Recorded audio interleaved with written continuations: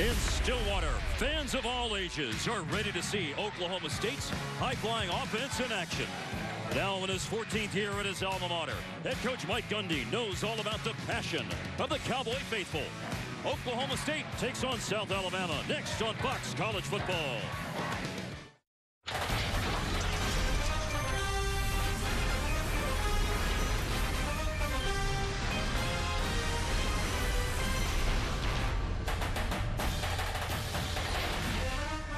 College football on Fox is sponsored by Saltgrass Steakhouse. With Brian Baldinger, I'm Mark Followill, and we welcome you tonight to Boone Pickens Stadium in Stillwater, Oklahoma, where the Oklahoma State Cowboys host the South Alabama Jaguars. You've got to stay up with the times in 2018, even, Brian, when you have one of the great atmospheres in college football and one of the great facilities. So now they have one of the biggest video boards in college football that we're on right now. Well, that's the Daktronics video board, and if you're a big-time program, you got to have big-time video. We're on it right now they get they get it here at Oklahoma State. Well, when you're a big time program, you also are going to have a change of personnel. There are going to be new things at the stadium and new players on the field, like a quarterback. With Mason Rudolph gone to the NFL, fifth year senior Taylor Cornelius made his first start last week, Brian. And I liked what I saw from Taylor Cornelius in that first start. First of all, he kept his eyes down the field. It's important. First start, be able to find Jalen McCleskey in the end zone for that touchdown. And then there were times when he had to make his stick throw. He threw five touchdown passes. That one to McCleskey as well. He was all-state in high school in four different sports, and he shows his athletic ability, getting out of the pocket, tucking his ball away for the 32-yard gallop, setting up another score. But the coach, Mike Gundy, wants him to throw in these games like he does in practice, and that one he'd like to have back. Eliminate those kind of throws, and Taylor Cornelius could be the next great quarterback here for the Cowboys. It was a 58-17 win over Missouri State. Last year, Oklahoma State beat South Alabama 44-7. But things have changed for South Alabama. They've got a new head coach, Steve Campbell. We'll tell you more about him before the kickoff coming up next.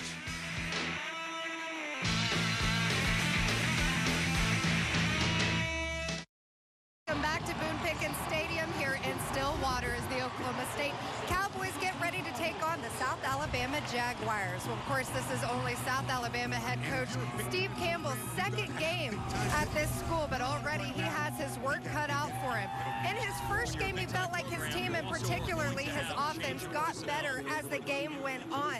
But they found a spark with quarterback Evan Orth. So instead today of just playing him, they're going to give him the start. On defense, they know it will be a challenge against this up-tempo offense. They just want to keep their calls and their game plan simple. But guys, don't get them wrong. Steve Campbell, they're not just here to play. He told me there are no moral victories. Well, we'll have a lot of opportunity to talk about Steve Campbell tonight and, of course, in his 14th season as the Oklahoma State head coach. 51-year-old Mike Gundy, 115 wins, a 30-4 career record against non-Power 5 conference opponents.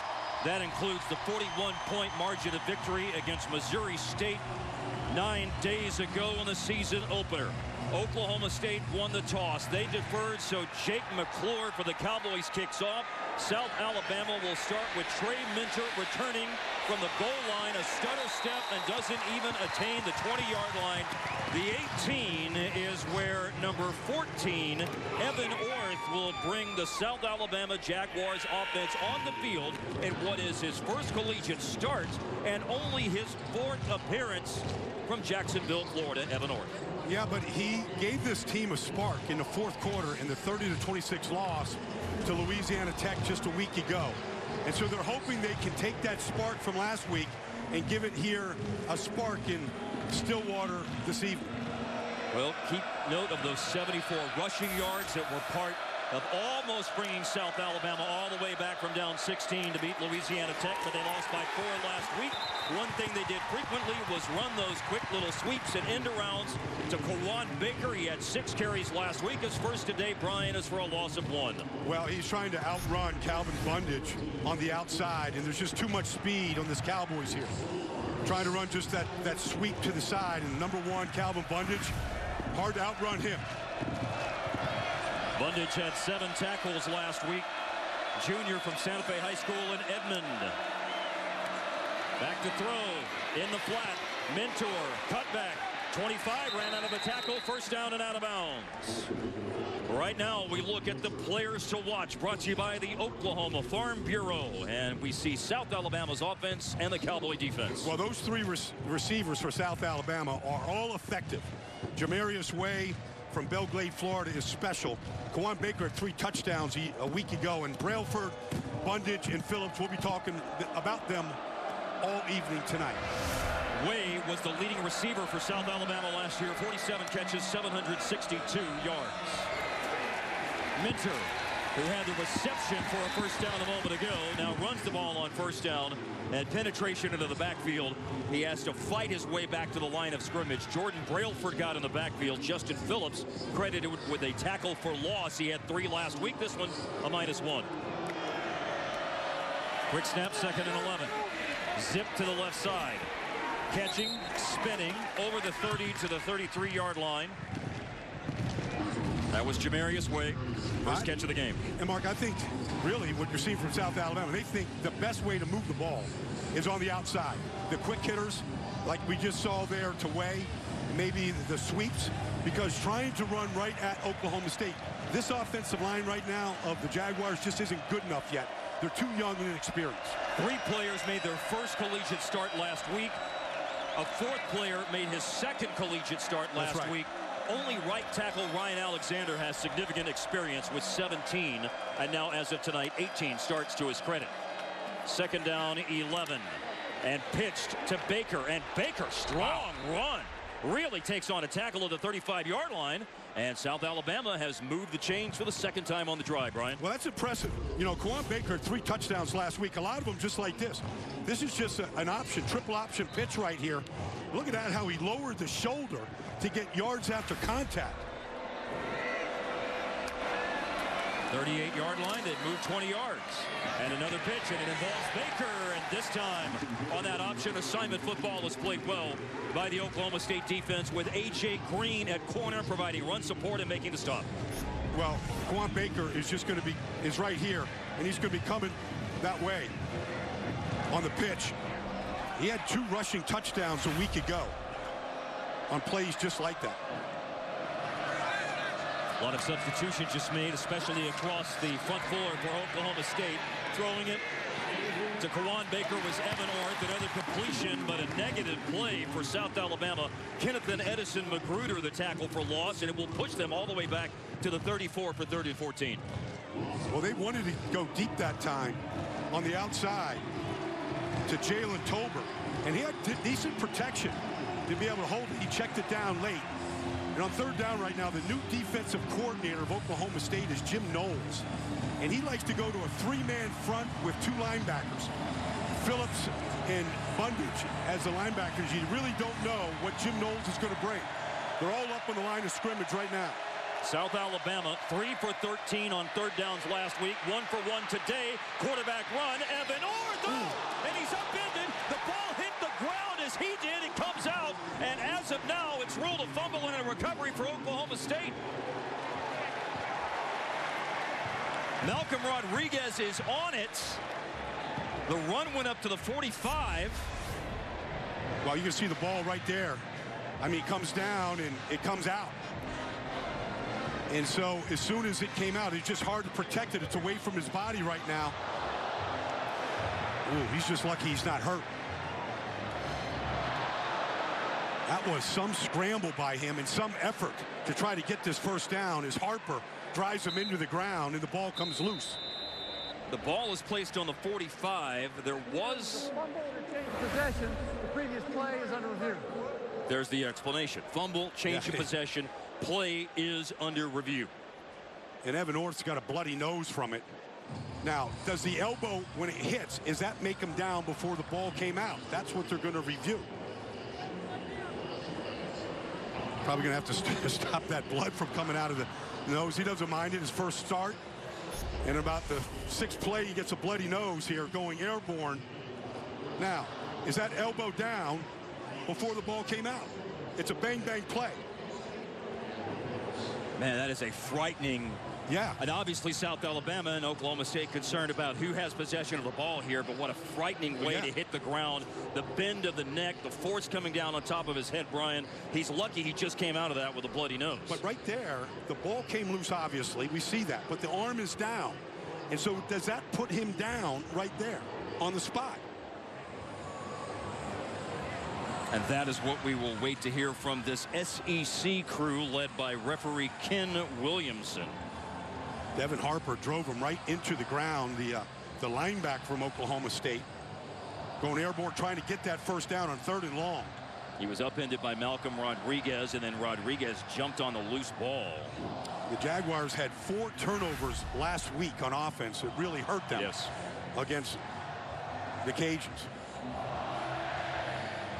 They forced three turnovers themselves. Yes, they did. But were a negative one for the day. And one. The ball will be on the right hash. Well, he had possession of the ball till the arm hit, and then the ball came loose. So that's the right call. Replay got it right. It took a while. Does South Alabama stay on the field and go for it on fourth down here? It's a great question because they picked up 13 yeah. yards on third and 14. I don't think they have anything to lose. It's the new program for Steve Campbell. He's won everywhere he's ever been, Mark. He's won at the junior college level, Division two level. He won at Central Arkansas. And it's a no guts, no glory move early on for Steve Campbell. Fourth and one, their own 47. They go for it, a running play to the outside. And Malcolm Rodriguez again knifing into the backfield. And Steve Campbell sees the drive come to an end on fourth down thanks to a great play by the Cowboy defense to safety Rodriguez. Well, Rodriguez comes up from the safety position. He's unblocked, and he just comes free. He's coming right through here. Unblocked on the play. He was supposed to be blocked by Deontay Moore, the back, and he just didn't get in front of him. Well, Mike Gundy told us yesterday, Brian, that safety is perhaps the biggest unknown of his defense right now. Kenneth Edison McGruder, Malcolm Rodriguez, Thabo Mwaniki, and one of those three safeties makes a play to force a turnover on downs. And we see the Cowboy offense for the first time with an inside run by Justice Hill, then tackled by Malcolm Buggs after a gain of three. You know, Justice Hill has started 27 games for the Cowboys. His worst game was a year ago against South Alabama. Only ran for 27 yards in that game. An incompletion bounces out. That went off Tylan Wallace. Darian Mills diving to the ground came close to an interception, but it clearly hit the ground. It will be third down and eight. Well, you're going to see just a great break on the ball by trying to scoop that ball up. He led the Jaguars with 12 tackles a week ago. The throw by Cornelius is an incompletion. On the drop by Wallace. Third and eight. Second start for Taylor Cornelius. Flush from the pocket. And Oklahoma State not able to take advantage of the great field position after the defensive stop. They go three and out. Let's see what they will do on fourth down. About nine yards to go. Well, Cornelius is going to get flushed here. He's going to get outside the pocket right now, and now the chase is on. That's great pursuit all the way through.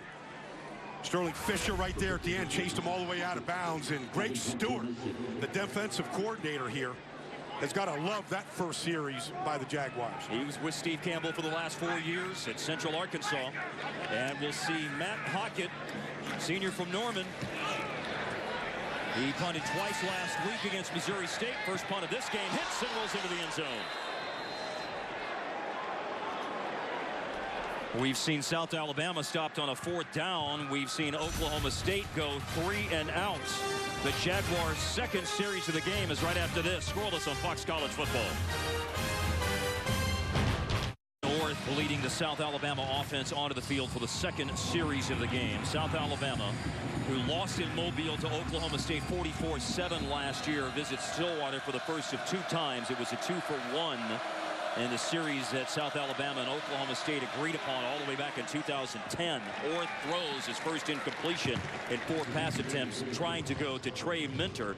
He is the Bud Light key player of the game for South Alabama, and those were his first drive numbers, Brian. Yeah, and I said he wanted to give this Jaguar offense a spark like he finished last week against Louisiana Tech where he led them to two fourth quarter touchdown drives. valiant effort in that fourth quarter.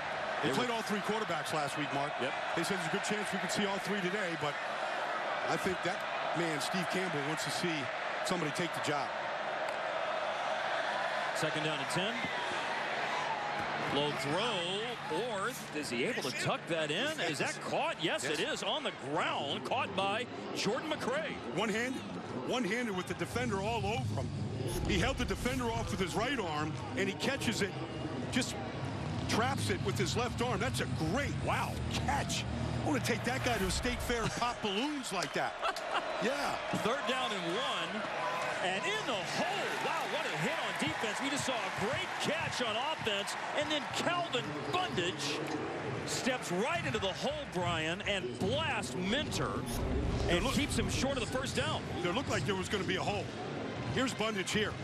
He stays unblocked, and then he drives that right foot and the right shoulder right into the leg of Minter and takes him down on third and one. They lose a yard.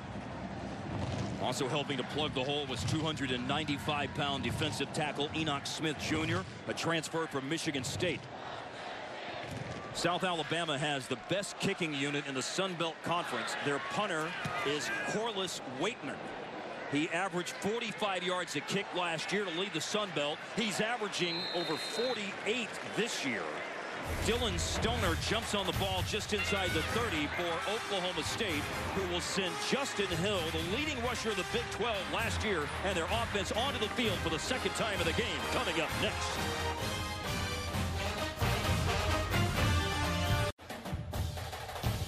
College football on Fox is brought to you by Saltgrass Steakhouse. Taste the certified Angus beef brand difference today. By AAA Insurance, at home or on the road, AAA Insurance and by Oklahoma Farm Bureau Insurance with agents in all 77 counties. Now that's huge. Oklahoma State's offense engineered 732 yards against Missouri State last week. They came away with one yard on their opening drive of the game. Now the second drive for Taylor Cornelius. A play fake. He has Jelani Woods in front of him, but farther in front of him, he has Tyron Johnson, who makes a move at midfield. Now he's trying to outrun the South Alabama defense, and he steps out of bounds. Short of a touchdown, but a play that started from their own 29 goes all the way down to first down and goal to go for Oklahoma State. Uh, just a bootleg action. Tylan Wallace just came across the formation as Oklahoma State is ready to capitalize on that last big gain. Stepped out of bounds a little bit farther up the field at the 11, so it went for 60 yards. Now throw to the end zone, and it's caught in the back of the end zone. And Oklahoma State, two plays, 71 yards, touchdown, last 11, covered by Tylan Wallace. Tylan Wallace didn't get much of a rest after the big catch and run. Comes right back to the fade. And Cornelius drops it in perfectly to the bucket over the defender's head. You're going to see just a great throw right here. Just pops it in right over Mills's head. Mills was in good position. Wallace did a good job of squeezing it into his body. So it was 60 yards to Tyron Johnson. Then it was 11 yards to Tylan Wallace. Two plays, 71 yards, and Taylor Cornelius has his sixth touchdown pass of the young season. Good concentration as Wallace brings it in, and Oklahoma State's on the board first.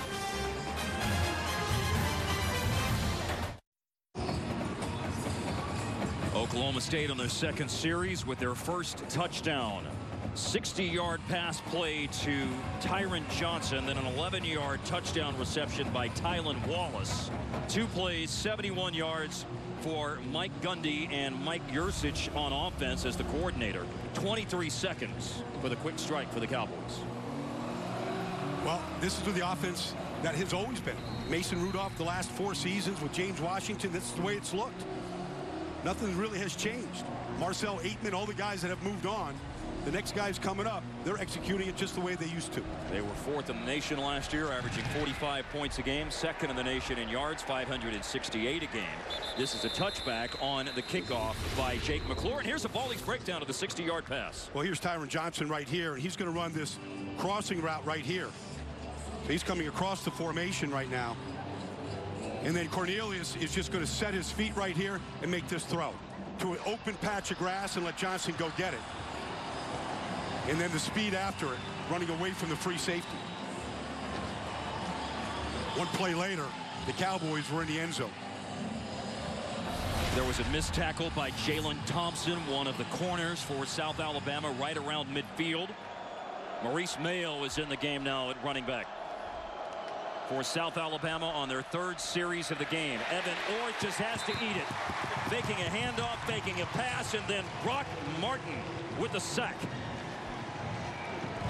I think he wanted to throw the fade on the, the, the quick screen on the outside, and it was well covered. He, in fact, Oklahoma State looked like they were ready for it. We're going to intercept it, so he ate it and just went down and took the sack.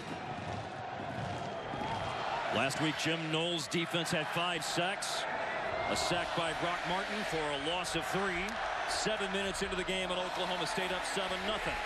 Mayo bounces to the outside. It's not a sack, but it's a tackle for loss. Nowhere to go, and the transfer, Enoch Smith Jr., making his presence felt with another loss of three yards. Well, they're strong up front. And, you know, when you watch a guy like Enoch Smith right here in the circle, he just gets that penetration over the guard and just runs right through the outside shoulder of them. And they're just too strong on the outside right here. You know, you're not going to block the edges. and It's hard to block him inside. There's a big mismatch right now between this defensive front and UAB's very young and experienced offensive line. Those are two players in Brock Martin and Enoch Smith Jr. listed as second team yeah. on the two deep, both making big plays so far on the drive. And now the play clock is winding down and out. Five-yard penalty. Well, they should at least get a timeout to save the five yards, seeing that it was running down. Kenny Edenfield, the new offensive coordinator. Of course, him and head coach right there, defensive coordinator for South Alabama. Steve Greg Campbell Stewart, and Greg Steve Stewart. Campbell, all yep. teammates together on a national championship Troy State team in 1987. First time they've all coached together here for South Alabama.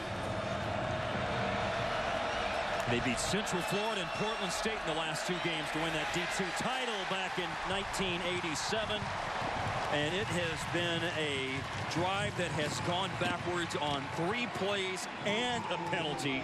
Jordan Brailford pressure and just Orth sliding to the ground at the six-yard line. Well, here's Brail Brailford coming right here. He comes inside. He, he gets the quarterback to get flushed, Evan Orth, and then he had all kinds of help on the way. Between three negative plays of 14 yards and a five-yard penalty, that drive lost 19 yards. They need the big leg of Corliss Waitman, the punter right now, with Dillon Stoner back deep to receive for Oklahoma State. This is a short kick, and it takes a bad bounce for South Alabama. The last two minutes have been a very difficult two minutes for South Alabama. Oklahoma State has the ball around the 37-yard line of the Jaguars as we check in with Leslie McCaslin. Leslie. Well, Mike Gundy's initial impression after Taylor Cornelius' first game was that he was too uptight. They really want him to be able to settle down and let it loose, and he was pretty tough on him early on. When he went back and looked at film, he realized he only missed four passes. I talked to Mike Yurcich before the game, the Oklahoma State offensive coordinator. He said, you know, I compare it to an Olympian who has really worked for four years for his moment and finally gets it. So, guys, that's kind of what Cornelius is feeling after not playing a game for five years. Well, he's got great running backs to help him, and one of them is in the game for the first time with his first carry. That's J.D. King, who will pick up four yards on a run to the left side before Chris Henderson's there. You know, one of the things that Mike Gundy told us yesterday, Brian, was that that Taylor does know this offense like the back of his hand. He says you don't fall off the truck and learn this offense as he zips it over to Tyron Johnson, who had a long pass play on the last drive and then knocked out of bounds. Well, you got to know what everybody's doing. You got to know all the protections. You got to be able to change calls at the line of scrimmage. And it's not an easy offense as South Alabama does an entire hockey change right here, entire shift six new players on this third down. That was a short pass play, only went for a yard. It's third down and five. And the aforementioned Taylor Cornelius, who already has one touchdown pass, will show off the arm by throwing on the move. And it's Tylan Wallace who caught the touchdown pass, grabs it, but is out of bounds. It will be fourth down. Well, it was Chris Henderson that's going to chase Cornelius, and this is a good call. Foot out of bounds. Yep. There's no force out, landed out of bounds. Excellent coverage on the outside that time by Jay Woods, who had an interception last week for the Jaguars. Well, it's go for it territory. Two for three on fourth downs against Missouri State nine days ago. It's fourth down and five, and it's a long five that they need. And whistles blow before Taylor Cornelius. Reset the game play clock, excuse me, to 25 seconds, please. Thank you. Mike Gundy's asking why. Why reset the play clock? It, it was just the next play up. There's no reason to reset it. But it gives South Alabama a chance to get set here as Oklahoma State goes empty. Five receivers. Fourth down. Quick pass going deep down the left side. An adjustment to the ball and a catch is made. Again, Tyron Johnson, who had four catches last week, hauls in his second big one of the day. Well, it was man coverage, and Cornelius just threw it up to a spot, let the receiver go adjust to it. And the defender was playing blind, not looking for the ball. The receiver adjusted. Now on first down and goal. King runs the ball from the eight down to the five.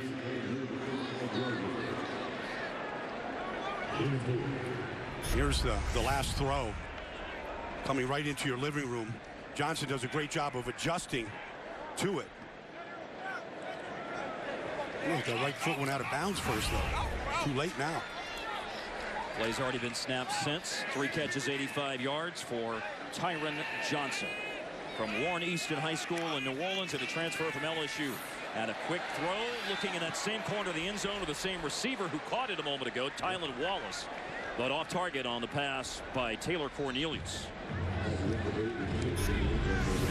So this ball is just going to be thrown right here to that spot. Just overthrown. Didn't give receiver a chance to adjust to it. Seventh play of the drive now coming up. Third and goal at the five. Justice Hill is the running back. Cornelius changed the play at the line.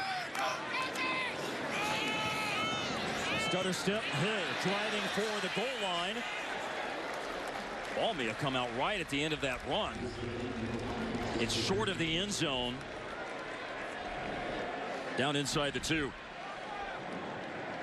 They've already gone for a fourth down and five on this drive. Well, they like to bring their cowboy backs in right here. Britton Abbott, as we see Sean Brown down for the Jaguars. 310-pound junior defensive lineman. Yeah, you need those guys when you're trying to run inside. There's Britton Abbott, the walk-on cowboy back. Mike Gundy raved about how important that position is to this offense. There's a good-looking redshirt freshman, Jelani Woods. Every bit of, looks like he's the, the power forward out there at about six foot eight. Head above everybody out there.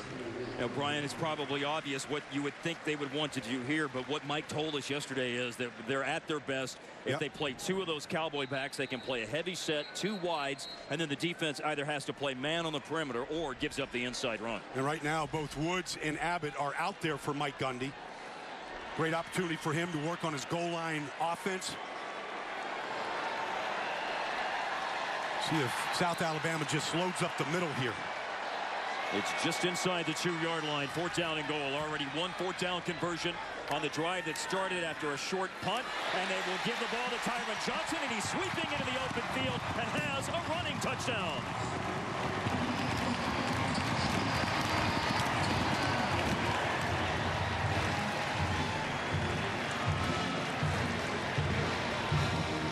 Just the fly sweep.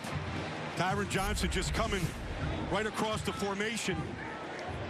Just hands it right off to Johnson and just has the speed to outflank everybody as they were looking for that, that run right up the middle. Great call that time by Mike Yurcich, the offensive coordinator. He already has 85 yards in receiving.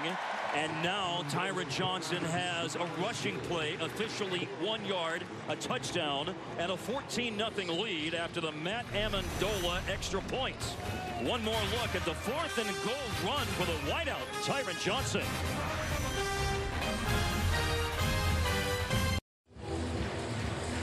Oklahoma State at home at Boone Pickens Stadium. 11 minutes into the game and a 14-0 lead over the South Alabama Jaguars from the Sun Belt Conference.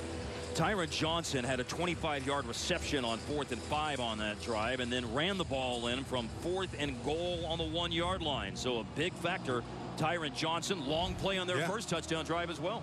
Big uh, transfer from LSU. He was a five-star recruit out of New Orleans. Had to sit out, but now getting an opportunity to play. and and uh, really, you know, LSU doesn't throw the ball the way Oklahoma State does. So it's better for a wide receiver to play here in Stillwater. He had a 118-yard receiving day against Oklahoma last year. Yep. Had three touchdown catches at about 300 yards, but obviously a lot more balls coming his direction with James Washington and Marcel Ateman out of the picture. Kickoff all the way through the end zone as we hear more from Leslie McCaslin about defensive coordinator Jim Knowles. Well, it's interesting hearing from Mike Gundy what he liked about Jim Knowles. And one of the things is just how focused he is on the X's and O's. He called him a brainiac. Of course, he came from Duke, went to an Ivy League school, but he said, I was amazed when I actually saw him in action on the sidelines because this guy was intense. And he is, guys. He is a guy that gets fired up. You can see him waving his arms in the air fanatically. So it may be that he's a brainiac, but uh, he's also a big football fan. A graduate of Cornell, former former head coach there, eight years on the staff at Duke.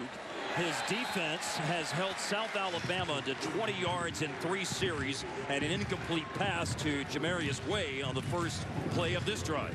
Well, Jim Knowles was a coach with David Cutcliffe at Duke. He was there at Ole Miss as Darius Williams does a good job here of breaking up this pass, the safety for Oklahoma State. But Jim Knowles had a hard time leaving Duke, but he said he needed to go to a division and where they really score points and try to keep it down. It was the next step in his career.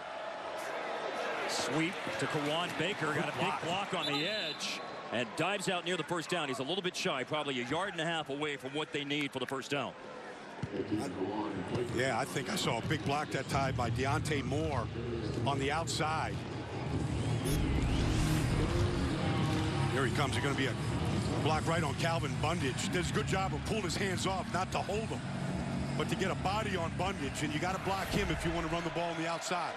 Long yard needed now for South Alabama on third down after the running play by Baker. He'll have another chance. They sweep it to him again. Stutter step down the sideline, first down.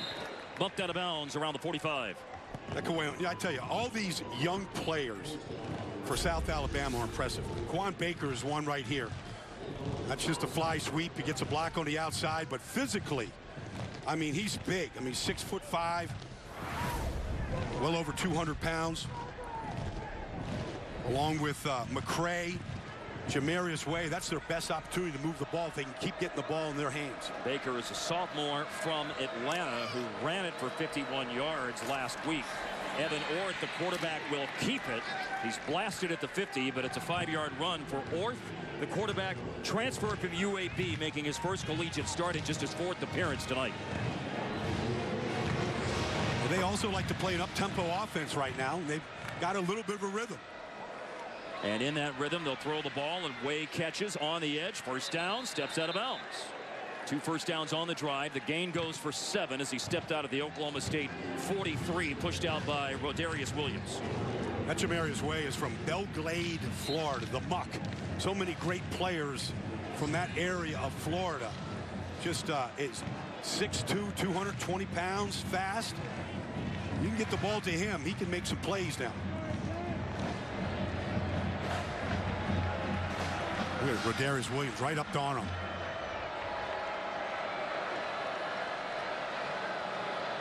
Motion by Sam Harris.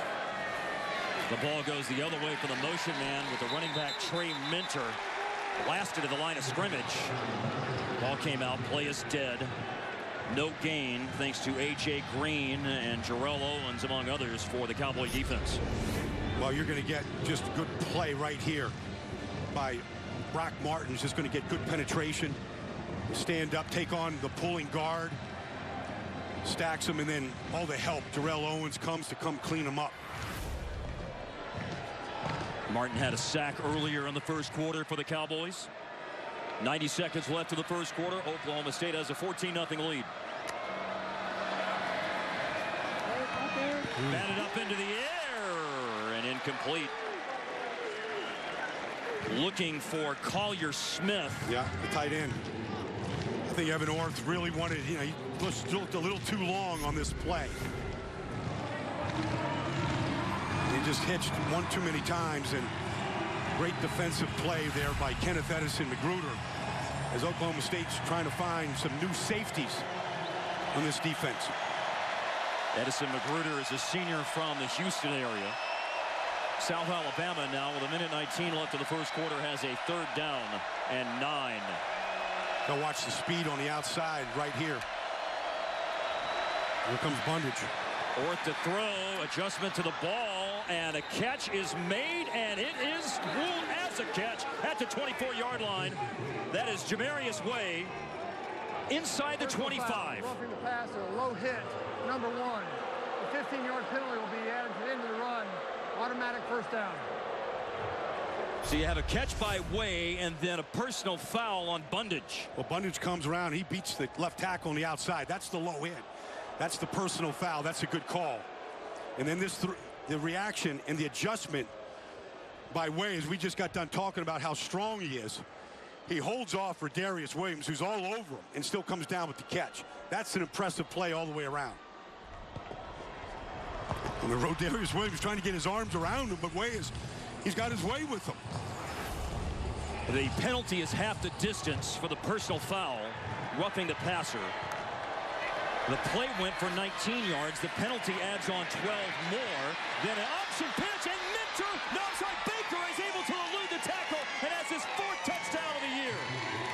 It's Kawaan Baker running it into the end zone, and South Alabama is on the board in the last minute of the first quarter.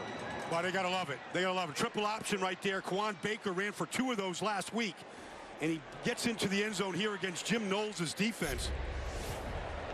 And Baker's just coming on the outside right here. Great job by Evan Orth of playing point guard. He makes the guy miss.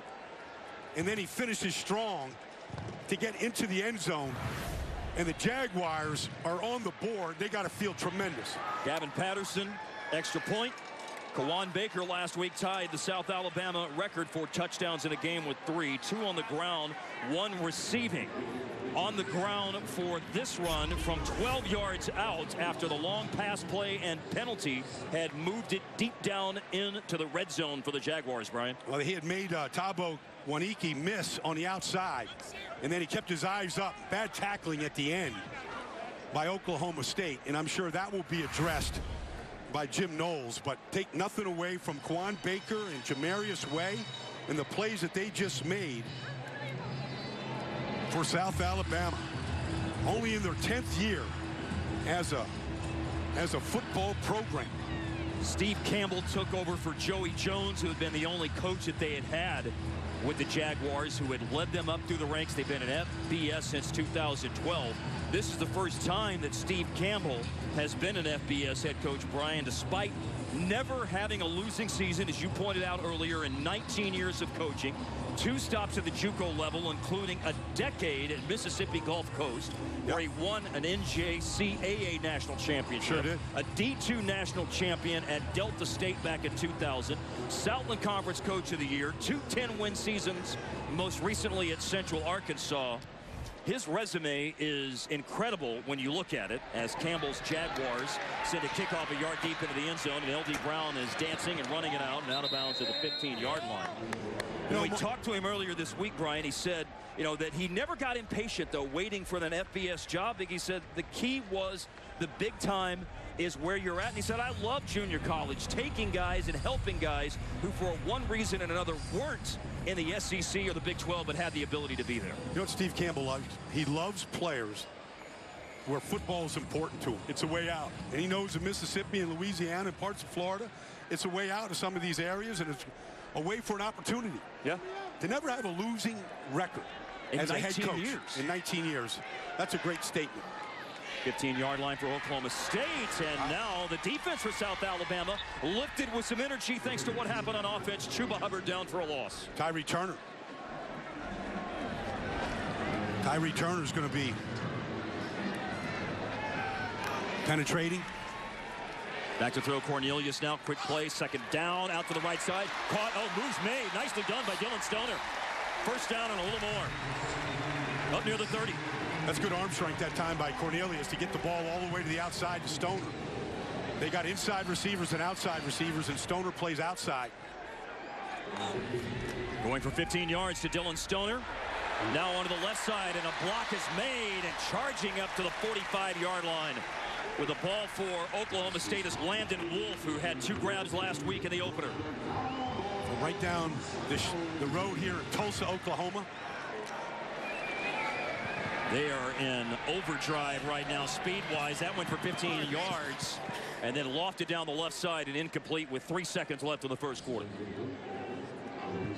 Previously to Landon Wolf for 15 yards a moment ago, Brian. Well, here's uh, the previous quick hitter outside to Wolf. Nobody was guarding the slot. And Taylor Cornelius' job is to find that open receiver when they have a trouble lining up after a quick snap.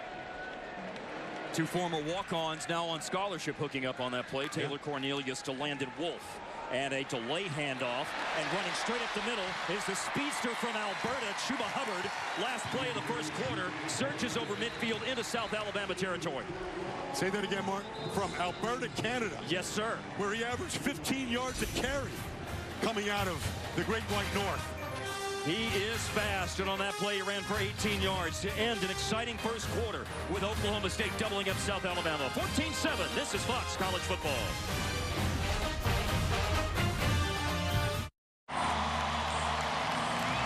Boone Pickens Stadium holds about 57,000. They announced just over 50,000 last week, probably in excess of that tonight, watching Oklahoma State play their second game of the year.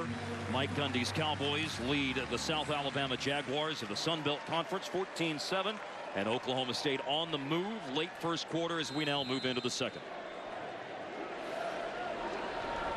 Last play was Chuba Hubbard for 18 yards.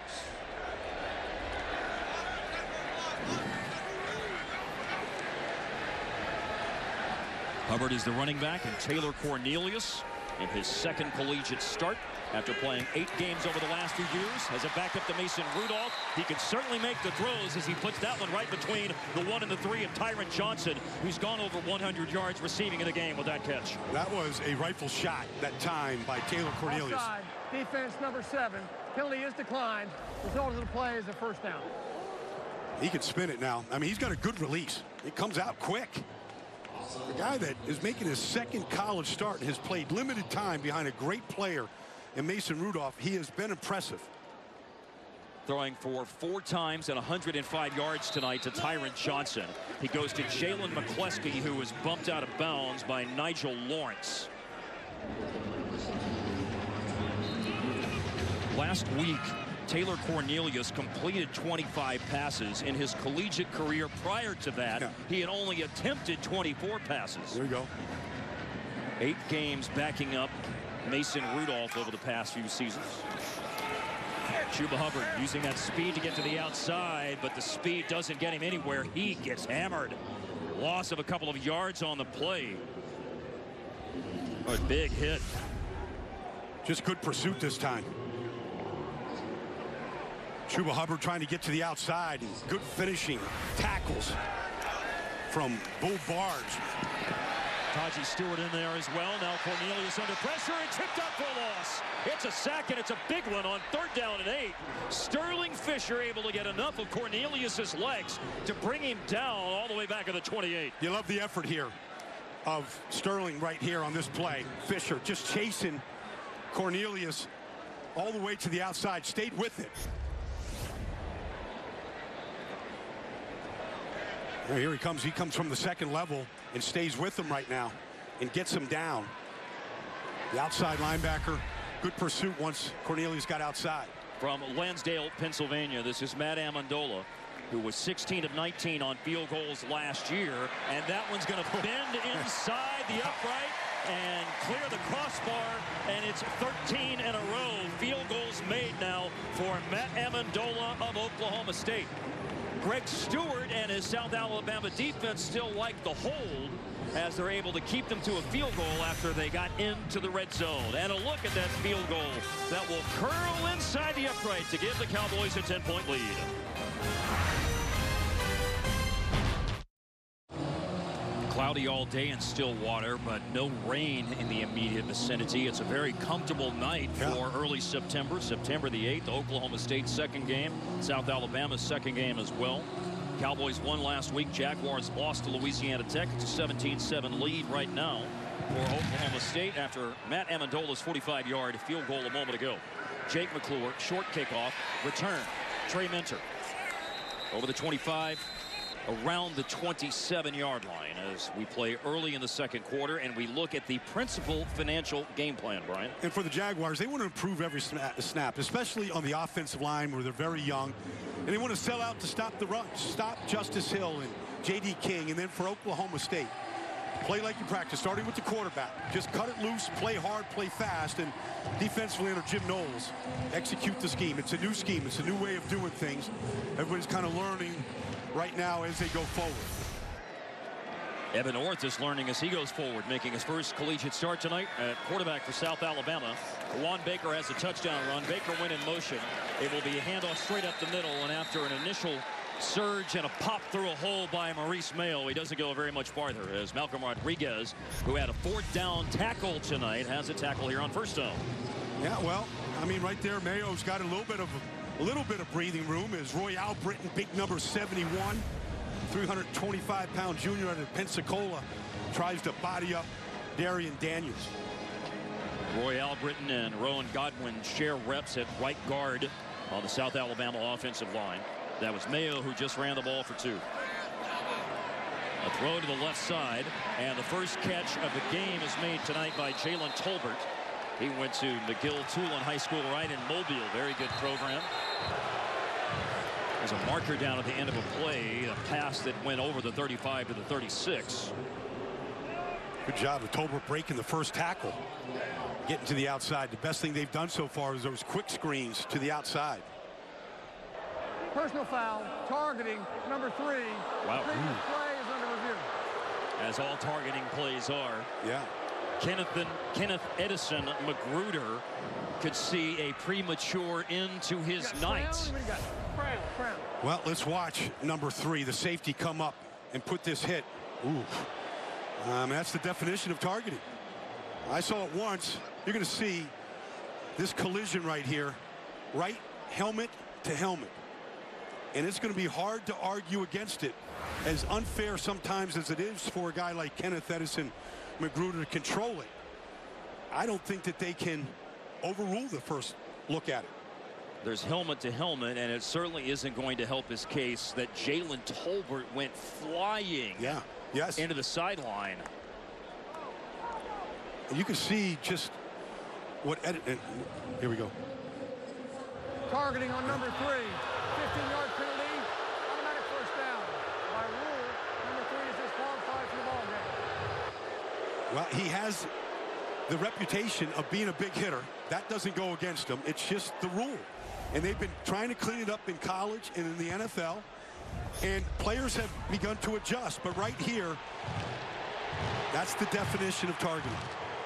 Lowering the helmet right there and hitting Tolbert right in the head. And they're trying to take that hit out of all of football. And the only way sometimes you can do it is to take the player off the field. There have been two personal fouls in this game now for Oklahoma State as it's flipped out into the flat into open space for Kawaan Baker.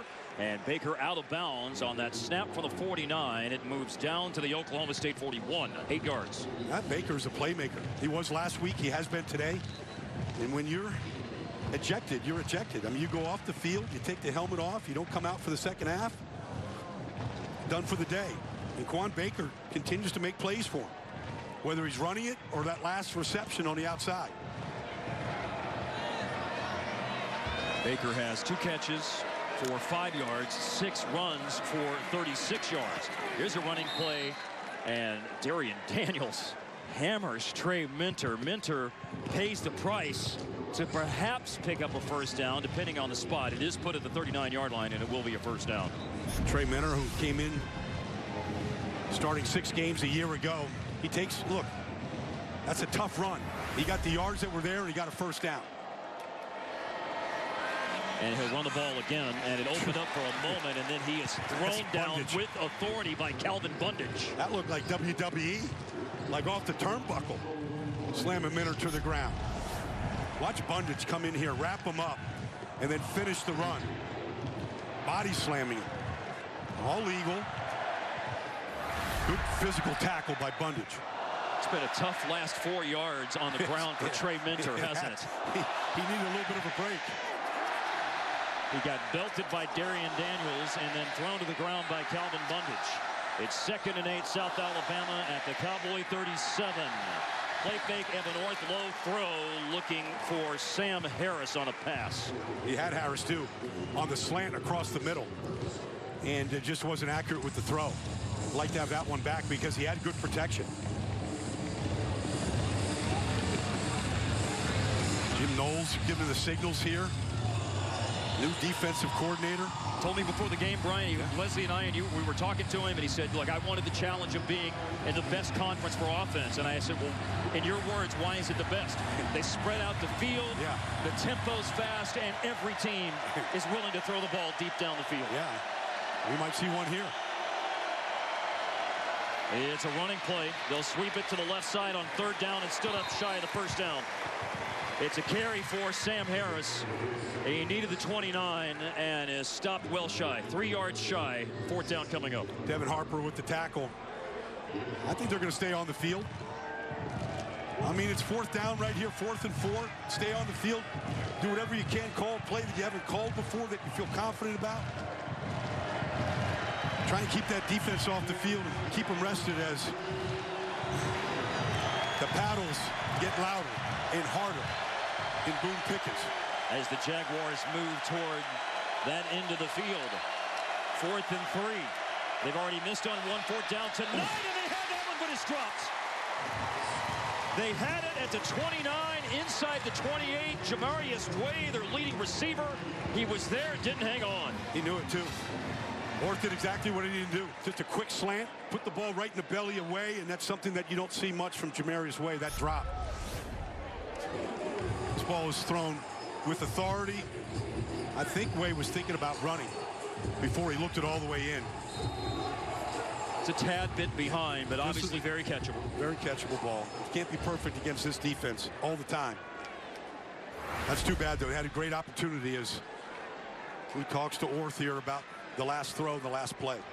Second time that South Alabama's turned the ball over on downs. Here's a running play, and it is taken up by J.D. King over the 45-yard line, and a first down's picked up by King, the sophomore running back who had 52 yards in the opener last week.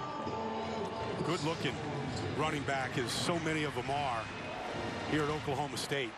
Got it all sides and no whistle, got a free play. Cornelius throwing to the sideline and over Dylan Stewart. There is an offside, as Brian said. Before that play, you know, one of the points on the financial game plan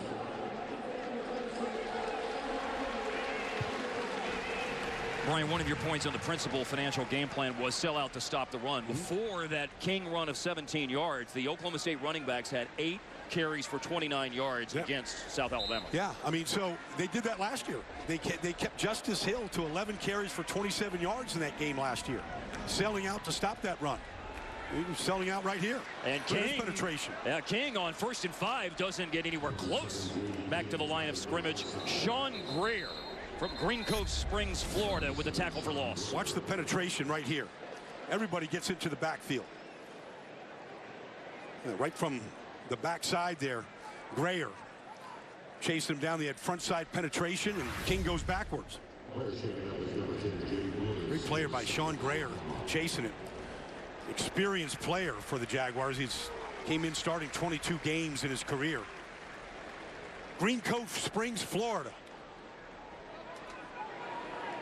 Jay Woods has to come out of the game. Sophomore corner from Pinson, Alabama, who had an interception last week. The loss was three yards. Second down and eight. Throwing, Cornelius, caught, Dillon Stoner. Forward progress will give him the first down inside the South Alabama 40. That's a great throw by Taylor Cornelius. I mean, he just, I mean, he threw it from one hash all the way to the other side of the field to Stoner. It got there in a hurry. And they will snap it quickly. He fakes the handoff to King. And he put that right on the money to Dillon Stoner, and Stoner doesn't hang on. Watch this last throw, this time by Cornelius. You know, juice on that throw to Stoner. The coverage was not bad by Ryan Mills. Chuba Hubbard is into the game at running back. Dillon Stoner didn't hang on to that bullet throw a moment ago from Taylor Cornelius, who is from Bushland, Texas. That's just west of Amarillo on Interstate 40. Cornelius will turn and hand the ball off. Chuba Hubbard down at the 37. So the deal with Taylor Cornelius was, Brian, he was 6'6", but only about 180 in high yeah. school and played every sport. So he wasn't in a summer seven-on-seven and camps and no. have a chance for, for, for coaches to see him in recruiting, Brian. Just outside of Amarillo. He was all-state in baseball, second baseman, all-state in basketball, all-state, uh, ran track, and then, of course, in football. Four different sports he was all-state in. Wasn't recruited at the FBS level. Came to Oklahoma State as a walk-on. As a mm. fifth-year senior. Now he's a starter, and he's tripped up as he tried to run it up the gut. Tyree Turner got him low. Knocked him off balance. Tyree Turner's made a couple of those plays now. He's just a fast twitch athlete. Able to get that hand and rip the, the shoelaces off of Taylor Cornelius to get him down. Offense staying on the field on fourth down. It's at the 36. And they need a long six. Really need it all the way down to about the 29. Full seven yards probably needed here. And they're throwing for it. Right side adjustment to the ball. And it's caught by Tylan Wallace. He has a touchdown catch tonight. He has a catch to sustain this drive on fourth down. Well, he's going to watch this. The ball's underthrown so that Wallace can adjust to it. He comes back to it in the corner on the play. Travis Reed can't adjust. That's 20 yards down to the 16, and then it's swung out to the left side. And it's caught by Landon Wolf, and he's brought down to the open field by Tobias Moss. You know, Tobias Moss, he just laid out. That's what you want to see from your safety out there. He just laid out to get Wallace down and save the touchdown. I see great effort right now from South Alabama throughout this first half. Because Oklahoma State just substituted. South Alabama will slow the pace down and substitute as well. The play clock will go under 10 seconds. A rarity. Second down to nine. Into the end zone. And a marker is down. Flags fly in the end zone. Jalen Thompson on the coverage of Tylan Wallace. Well, he was playing on his upfield, upfield shoulder. Cornelius was going for... Pass interference, defense number one. The penalty will place the ball at the two-yard line. Automatic first down.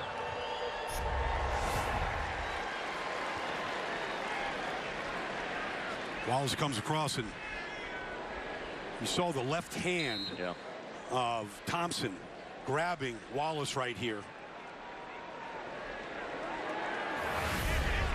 By rule, pass interference in the end zone puts the ball at the two. First and goal. Jelani Woods was in motion. J.D. King with the ball and hit in the backfield.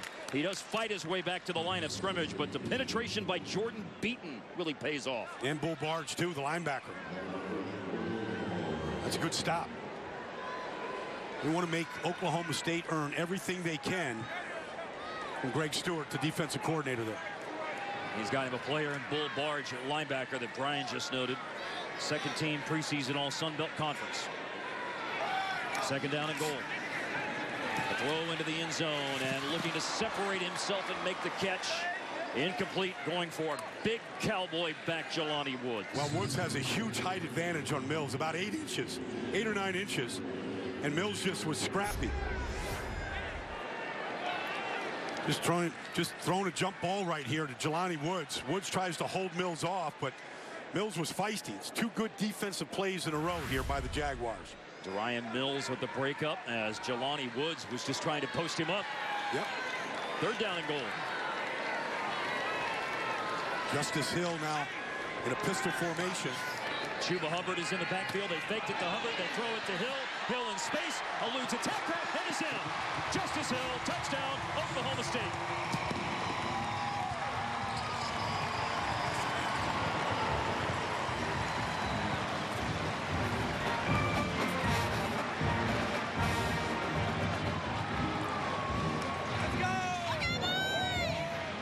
This offense is all about putting the ball in the best playmakers' hands. As the hands go back and forth here in Boone Pickens Stadium. Little swing pass to Justice Hill.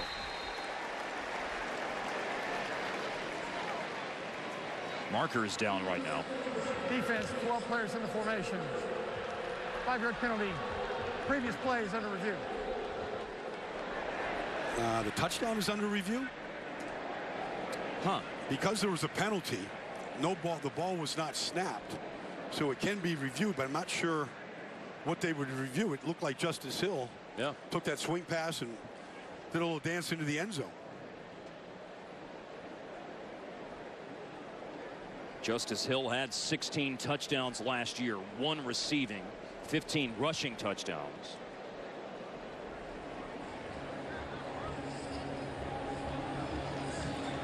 Had one touchdown last week in his 122-yard effort that included Brian a 92-yard run, which was not a touchdown, by the way. Well, you had a block on the outside, but there's Justice Hill beating the corner on the play, Jalen Thompson. Jalen Thompson's had a tough game missing tackles. Well, it's two or three. It's an elite athlete. You're trying to tackle in the open field. That's that's hard on anybody. I don't see anything in that picture. We heard something about a targeting, and could it be on the block? I think there might be Tylan Wallace on, on the, the block. Yeah. Right here. Now they had one player ejected for targeting. After further review, there is no foul for targeting. The touchdown is good. All right. There was a targeting ejection for safety Kenneth Edison McGruder for Oklahoma State here early in the second quarter. There was a review, but it was just a good block to open up the edge for Justice Hill. And Hill is in for the score. Oklahoma State cashes in on another trip into the red zone. Four for four. Three touchdowns, one field goal.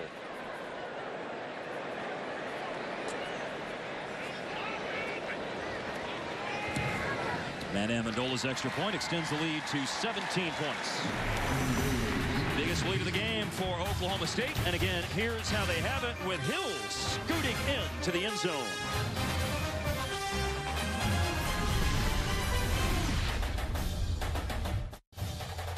College football on Fox is brought to you by Coyote. We dig dirt. By Texas Department of Transportation. Don't mess with Texas means don't litter and by Ford. Visit your local Ford dealer today and see why Ford is America's best-selling brand. There are 22 coaches, including two in the Big 12, Mike Gundy and Cliff Kingsbury, who coach at their alma maters. You saw some footage of Mike's days as the quarterback, but his days as the head coach have produced some wonderful times for Oklahoma State. 115 wins, three straight 10-win seasons. Mm -hmm. They're off to a 1-0 start and a 24-7 lead in game number two of 2018. And Mike uh, very much enjoyed Thursday night going to watch his son Gunner play. Yes. Yeah, got the big win against a school from, uh, from Norman. that town of Norman, Oklahoma. And quarterbacked by Barry Switzer's grandson, Gunner Gundy, with the performance for Stillwater to beat Norman North 44-21. Kickoff on the touchback. 24-7. Second quarter, Oklahoma State leads South Alabama. We look at tonight's Mercy Health first half game summary with Oklahoma State leading South Alabama 24-7. Taylor Cornelius, 182 passing yards and a touchdown. Tyron Johnson, four catches for 105. Oklahoma State great in the red zone. South Alabama's lone touchdown scored by Kawaan Baker. His was from 12 yards out. He's carried the ball six times for 36 yards. After a score and then a kickoff for touchback, Jaguars the ball their own 25. Play fake deep throw. Evan Orth down the sideline and a diving attempt and a flag is down. Jordan Yeah. McCray was the intended receiver. Coverage by A.J. Green, the junior corner from DeSoto, Texas, who had four picks last year, but they've got him for a pass interference call here, it looks They like. did. Pass interference, defense number four. 15-yard penalty from the previous spot. Automatic first down. Well, you're just going to get a lot of right here on the outside. There's A.J. Green. He gets his hands on him. Doesn't look back for the ball. And so we're seeing these receivers now. That time, Jordan McCray. See the right hand of A.J. Green holding the jersey of McCray. So good call. Green and Rodarius Williams started every game at corner last year. Mike Gundy hopes they'll be better for it this year as Evan Orth keeps. And he's met by Calvin Bundage, who's been involved in a lot of plays on defense for Oklahoma State in this game. He holds Orth to a yard pickup. Well, Bundage is an experienced player. He's got tremendous speed and quickness, that combination. And he never comes off the field unless they're just, you know, looking to play some depth. But he'll play nearly every snap when the games get really important. Started nine games for the 10 and 3 Cowboys last year, who beat Virginia Tech Good in the throw. Camping World Bowl. And it was a good throw, and the receiver just does not hang on Kawaan Baker. Well, whatever the stats are right now for Evan Orth, they don't show just how good he's throwing the football. I mean, right here, this is how you stop and step and throw the football. Just a frozen rope here to Baker. The ball's right where it needs to be. Now it's third down. And about nine and a half.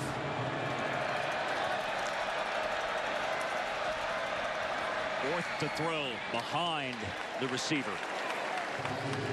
Jamarius Wade. He's trying to throw a back shoulder to Jamarius Wade as he comes back to get the ball. He was just a little bit off. But the protection was pretty good that time. There have been a couple of drops, Brian, as Evan Orth has four straight incompletions. It is now eight for 15. Yeah, but I mean, he's he's, he's had the drops you Yep. mentioned. You can't throw the ball any better. Remember the fourth down play on a drive earlier. Line drive punt, but still a big leg from Corliss Waitman. It's rolling, and can South Alabama catch up to it? Did it carry him into the end zone? No, he downed it. One yard line. Darian Mills was down, so was Davin Flanard, and I think it may have been Flanard who got down and jumped on it. Redshirt freshman receiver. Is it Flanard who catches up to Yeah, the ball here at the 18. one? Yep.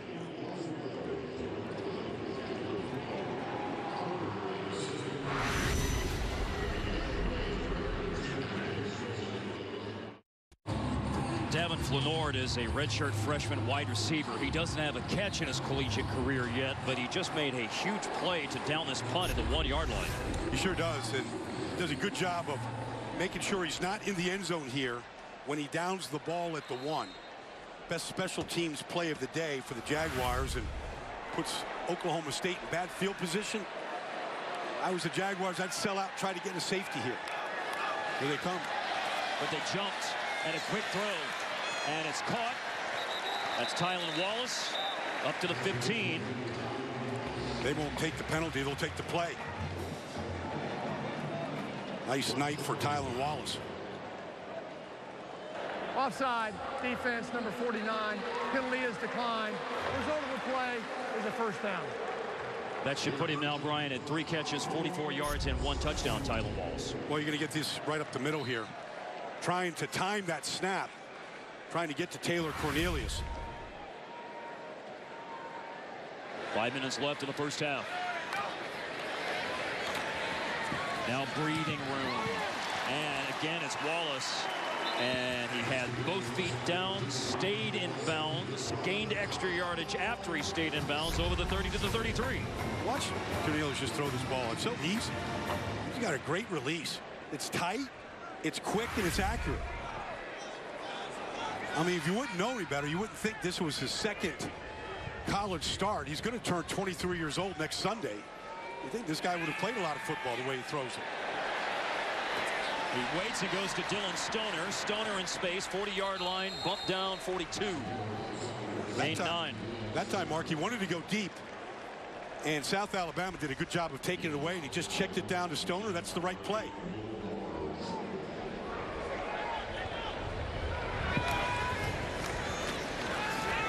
Hands it off Justice Hill. Hill's in trouble. Hill is hit in the backfield. To his credit, he efforts back up to the 40-yard line. It's still a loss, but not as bad as it could have been. No, they got good penetration that time. Made Justice Hill change directions. Good penetration. and Now it's a quick snap on third and three, and Cornelius throws, and it's in the direction of Wallace. Short hops him. I jinxed him. That was uh, an open Wallace that time, waiting for a first down throw, and he bounced it off the turf. That's a good stop that time for the Jaguars as Mike Gundy was trying to probably come back and tell Cornelius that that wasn't the way you're supposed to throw it. That's not how you throw it in practice. Which is what he wants him to throw it Yeah. as he does in practice and not try to be as he described. Oh, here's a fumble snap on the and special teams is going to make a play for South Alabama. They blocked the Matt Hockett punt because he couldn't step, couldn't feel the snap cleanly. And after all of that, it is jumped on by South Alabama. It's like Jalen Bowie got it.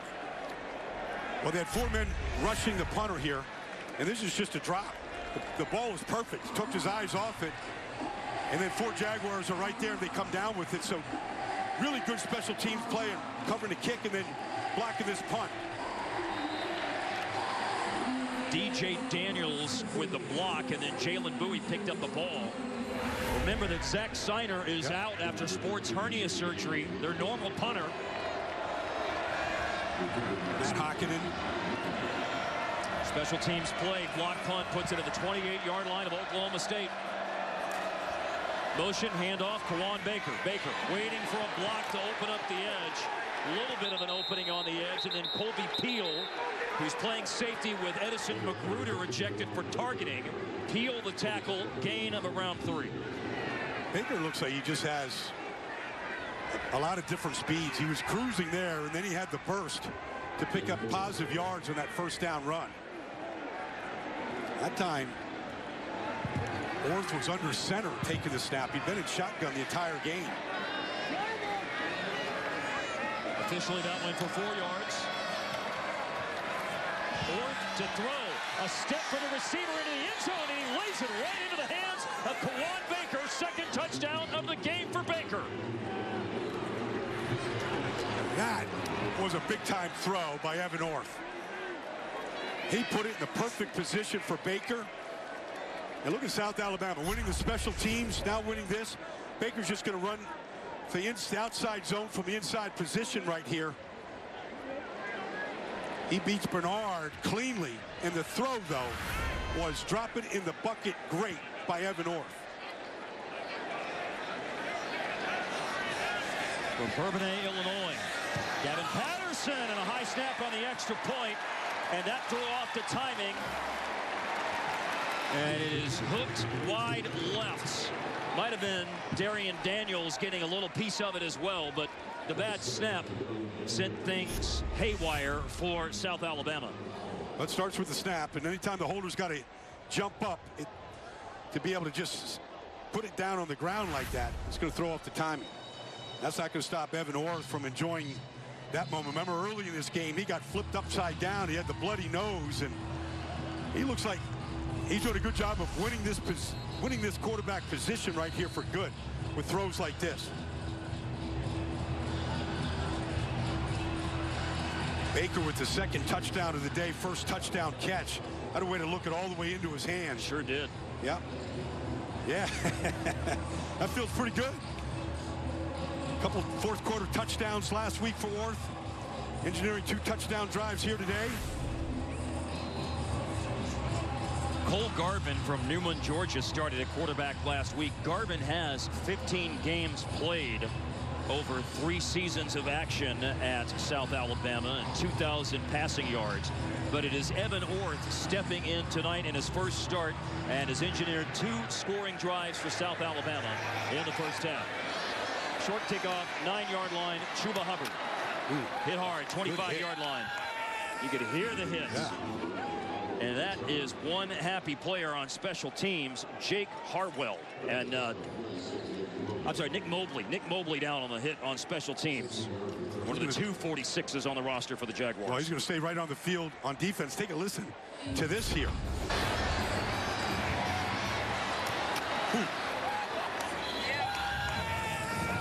At least to call that just a good stick.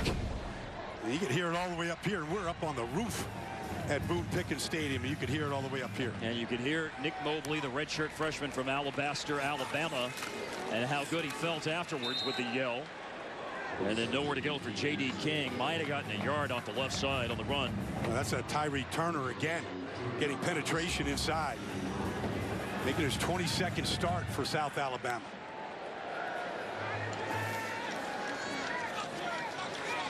Two and a half minutes remaining in the first half. King just ran the ball. The block on the edge. A throw to Tylan Wallace.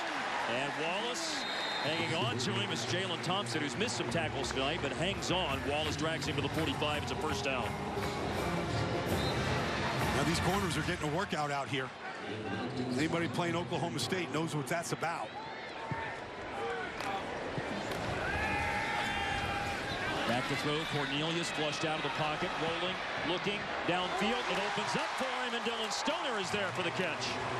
Into South Alabama territory at the Jaguar 35. Tobias Moss pushed him out. Great job by Cornelius here, keeping his eyes down the field, even under pressure, to be able to find this receiver there. It is such a difficult skill to be able to find Stoner like that for a young quarterback or a quarterback that's making a second start. Timeout, South Alabama. First time out of the half. This will be a 30-second timeout.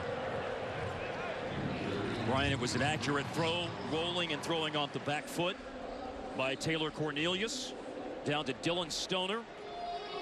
Stoner has three grabs tonight. You know, we talked to Taylor Cornelius before the game, and we asked him if it's okay to call him Corn Dog because that's what his head coach called him in the meeting yesterday. His nickname for him, he said he doesn't really care. He's just enjoying playing football right now after back, backing up Mason Rudolph. The third round pick, the Pittsburgh Steelers is. Now let's take a look at tonight's Coyote playbook and a little bit more here on Taylor Cornelius tonight, Brian, in his second start. Now let's take a look. Efficient here on the move. This this throw accurate on the outside to Tyron Johnson. That one short pass, long run. But this touch throw on the outside here to, to Wallace. 16 to 23, 262 yards, one touchdown pass, and a lot of good throws on third and long, fourth down in this game. Well, and he's also, you know, look, this athletic ability, the ability to extend plays is every defense in the Big 12 is going to have to contend with his ability to extend. After the South Alabama timeout. And again, here's Cornelius showing some elusiveness. He rolls left, he throws deep, coming back for it and sliding, going out of bounds is Dillon Stoner. That's great effort by both players, by Cornelius and by Stoner, trying to keep that play alive. Here comes the spin. Eyes down the field again. Look at this throw. Didn't miss by much. Nope. Great effort by Stoner. Leading receiver in terms of receptions for Oklahoma State is Tylan Wallace. Leader in yards receiving is Tyron Johnson with 105. Draw. Delaying handoff. Looking for room is Hill. They have done a good job on Justice Hill tonight. On all the backs. Really containing him. They do a good job of just throwing their bodies into the running lanes. Only two runs for over five yards wow. for an Oklahoma State player tonight. Chuba Hubbard has an 18-yard run. J.D. King has a 17-yard run. That's Justice Hill's longest gain of five tonight. Justice Hill, five carries, 12 yards. Wow. Hill is in motion. Hill does have a touchdown reception. This is a slant throw to Tylan Wallace and caught down to the South Alabama 22. I always think those quick slants, like Cornelius just throw, are a great indicator of how accurate you are. And they go quickly in the last minute of the first half and out wide to the left. And off target, looking for Tyron Johnson. Taylor looking over to Mike Yurcich, getting the play coming in. Chuba Hubbard in the backfield right now next to Cornelius. What Mike Gundy told us yesterday was that Corn Dog's a dinosaur because a lot of quarterbacks now won't stick around if they no. aren't playing. He said, I have so much respect for him. He stayed here and did everything we asked him to do. Now he's a starter. And here he is handing the ball off. Blast up the middle by Chuba Hubbard to the Jaguar 15. A gain of eight. 149 all-purpose yards last week in that win against Missouri State as Jaguars have eight. Oh, that's yeah. Taji Stewart is Taji down Stewart, right now. Yeah.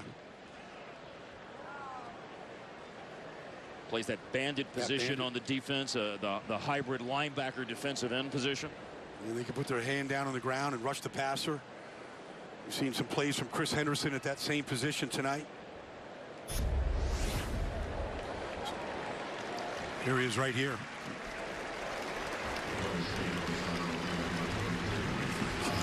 Stewart has four tackles in this game, two tackles for loss. He had a sack last week. He's a junior from Marietta, Georgia. I like that. Greg Stewart out there checking on him. The defense corner's got to love the way that they've been able to contain this run here. They'd love to hold them to a field goal attempt right now. Got a good look at the new video board here at Boone Pickens Stadium in the background just a moment ago.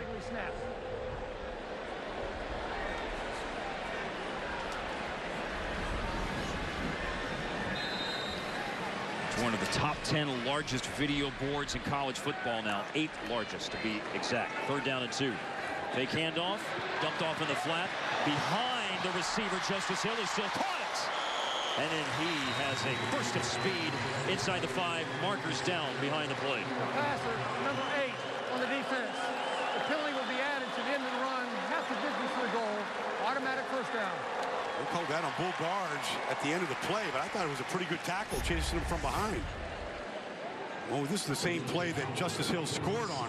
Little swing route on the outside, just trying to get him in space. He makes Nigel Lawrence miss right there. Just thought it was a Here's the hit. Oh, that play right, yeah. Bull Barge, little push in the back of Cornelius. Out, Oklahoma State, first time out this half. This will be a 30-second timeout. I thought Barge kind of pulled off on that hit. One very menacing. Nonetheless, they get a little closer.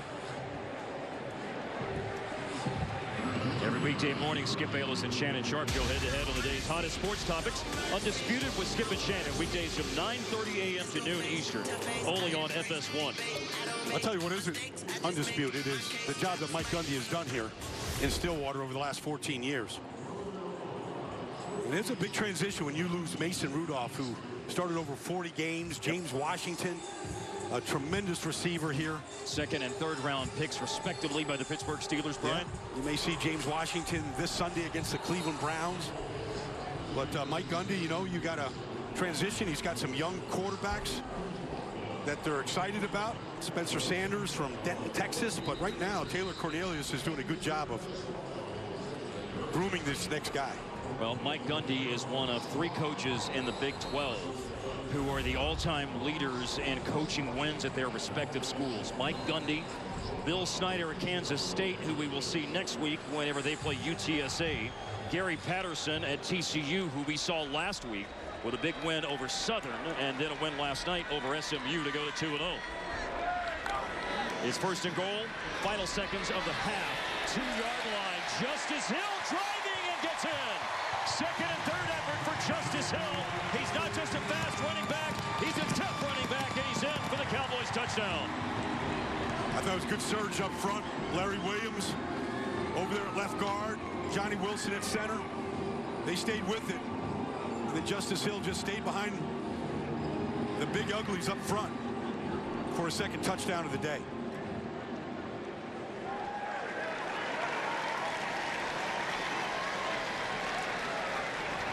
To extend the lead to 18 points, Matt Amendola's extra point, 21 seconds left in the half, 31-13. Last year it was 44-7 whenever Mike Gundy and Oklahoma State went to Mobile and beat South Alabama. As we look at the Baldy breakdown on this score. Wow, you're going to see really, really good penetration right here. And get him blocked. Bull Barge at the top. He gets blocked that time by Jelani Woods. The young redshirt freshman cowboy back. Justice Hill sticks right behind him. Makes Barge miss right in the hole number eight there. Stays behind Woods and Wainwright. Hambright right there at left tackle. Offensive linemen feel like they got a chance to score right there. Brian, you mentioned the left guard, Larry Williams. He and Marcus Keys and Shane Richards are a three-guard rotation on the offensive line. Keys and Williams splitting time at left guard, even though Keys has started 26 games over the last two years. But Williams, a transfer from East Carolina, has starting experience himself. Tonight is his 10th start, and he was part of plowing the road for Justice Hill. Kickoff, 21 seconds left in the half. It's booted by Jake McClure into the end zone.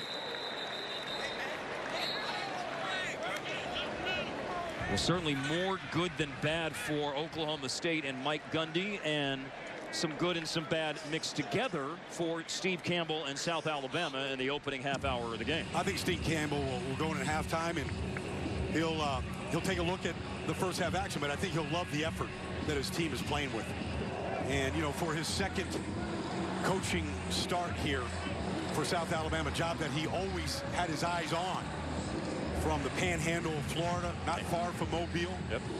I think uh, this was a, a good learning experience here in the first half. A lot of good things from his Jaguars.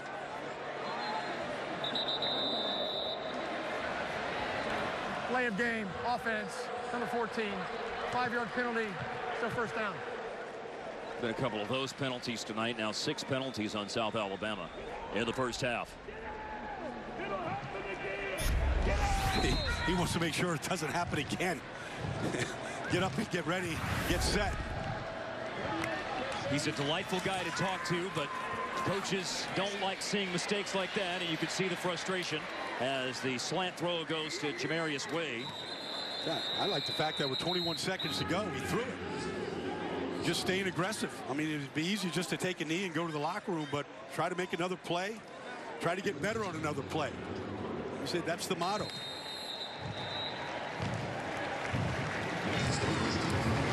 That is the end of the first half. It is a first half that's seen Oklahoma State generate 319 yards of offense and 31 points.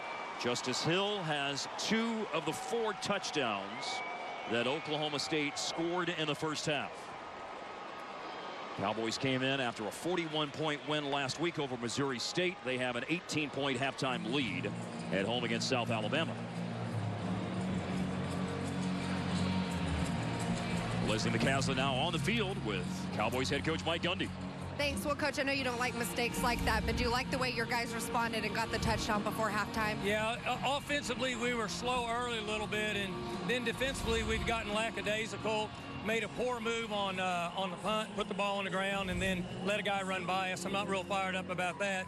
And then we're not fielding the punts. We got to come catch punts, and so we haven't been very good on special teams, and that concerns me. We've got to improve in that area.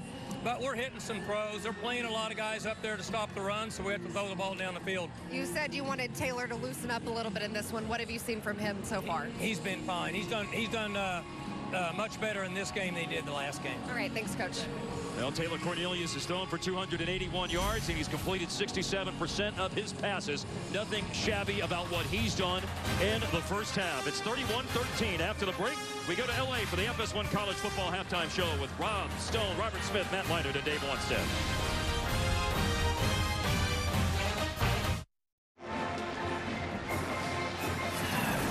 Wannstedt. Fox is sponsored by Saltgrass Steakhouse. 31-13, Oklahoma State Cowboys at home lead the South Alabama Jaguars. The third quarter will start in just a moment. But before it does, we have a Baldy's breakdown from a touchdown run by Justice Hill in the first half. Well, here's a swing pass to Hill, but he's going to get a great block by Tylan Wallace on the inside linebacker right here. It's going to be a decleater. It's a legal hit, shoulder to shoulder, knocks him off his feet, eliminates a defender, and now all Justice Hill has to do is beat one defender on the outside for a second touchdown of the first half. 31-13 the lead for Oklahoma State. Let's hear about the South Alabama perspective. Leslie McCaslin down on the sideline. Leslie. Well, guys, I just caught up with Steve Campbell, who said his guys are playing hard. But he said on defense, yeah, they're loading the box and stopping the run, but they've got to do a better job tackling. On offense, he said he will stick with Evan Orth to start the second half, but he said, you know, offensively, we're just leaving too many plays out there. So that's something that they really want to work on here. They know they're moving the ball. Evan Orth is doing a great job, but they just feel like there's a lot more they can do, guys. I said, you got to be pleased with the way they played in the first half. He said, well, they're playing hard, Mark. And Leslie McCaslin playing hard yeah. as always. Yes, she is. Uh, you know, and I'm a big Steve Campbell fan. I think we both are. We yeah. we saw him a couple years ago at Central Arkansas when he was there. Uh, highly competitive guy. We saw him against Texas Tech, have a great effort. His kids play hard. That's always a good sign of a coach. But the plays he's talking about, drop passes, yeah. opportunities to move the sticks, stay on the field, keep the defense off. Those are plays he knows that they can correct here in the second half. He told us this week, and you alluded to this earlier, Brian, I like coaching kids that need football. I needed football. Don't know how I would have gone to college without it. Because of football, my son and daughter have been to college and have degrees. Football helped us get there. It's a good dude. Kickoff to the six-yard line. Chuba Hubbard. Up to the 28 on the return. Taylor Cornelius threw for 300 yards in his first start last week against Missouri State. He already is at 281 after a half a play tonight and a great completion percentage, 18 to 27. Yeah, two-thirds of his passes have been completed. He's had a couple drops as well. And he's avoided the mistakes tonight. Last night, through the or last week, he threw the one interception in the end zone against Missouri State. He has stayed away from those throws tonight.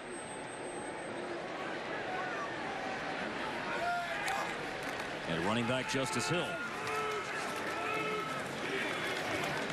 There's not much there. You see a lot of white shirts just plugging it. That man right there, Tyree Turner, we've talked about him a lot. He just has an ability to get into the, the cracks between the offensive linemen and penetrate. He never looks tired to me either, even though he plays a lot of snaps. Stockbridge, Georgia, junior Tyree Turner, seven tackles against Louisiana Tech in the opener last week had a sack. He had three and a half quarterback sacks last season. Cornelius, his 28th throw of the game, isn't the prettiest looking throw. And it was caught, though, at the 40-yard line by Tylan Wallace. First down. Another throw here by Cornelius outside the pocket. Good protection. Some guys just have a knack to throw it on the run. He seems as accurate on the run as he is standing in the pocket. Several examples of that tonight. Now he'll stand back and he'll throw it deep down the left side. And it's an interception. It is picked up by Tobias Moss. He had two last year. And Moss with an interception a minute and a second into the third quarter. Yeah, he left that ball short. And Tobias Moss playing tight man coverage was able to come up with the with the ball. He, Cornelius, he just hung that ball up there. He's got the belt too. I guess you're going to see this ball on the outside. Moss is just going to stay with the inside receiver here. He does a good job of turning back for the ball. I'm not sure how he, I think he caught that one-handed. I think it's just a one-handed kick. Look at that. Oh, that oh, ball hit. They got they got to get that reviewed. That ball hit the ground. Stoner touched it once. Oh yeah, that he cradled it, but this Throwing should get reviewed. Was interception. The previous play is under review. Let's see if this ball right there touches the ground. Now, did he? It looked didn't look like he had possession as it touched the ground either. Yeah, didn't have it. did he have it stabilized up Yeah. against his body with that one hand. They're all looking at this huge Daktronics video screen here. Yes. it is a beautiful picture.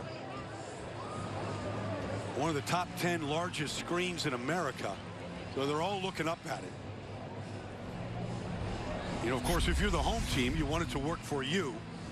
And they want to show that this ball right here by Tobias Moss touches the ground right there. Although he does it. There's another angle. That angle, it looks like it did touch the ground. Yeah, that's right. Yeah, that angle looked like it never touched the grass.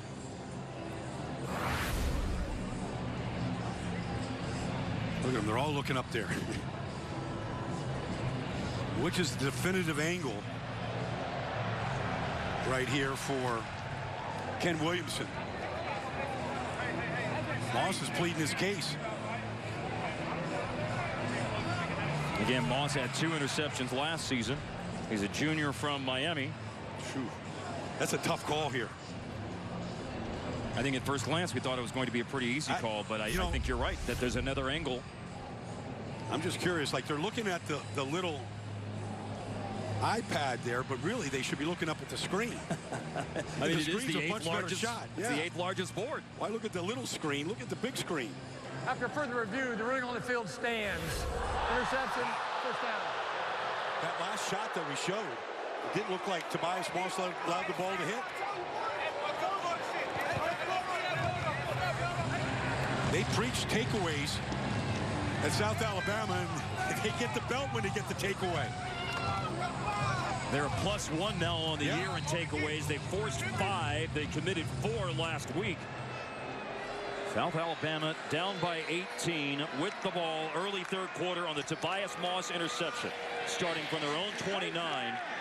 When Trey Minter has tried to run the ball between the tackles, there has been next to nothing in terms of room. He just squeezes into the middle for two yards there. A whole bunch of black shirts in the middle.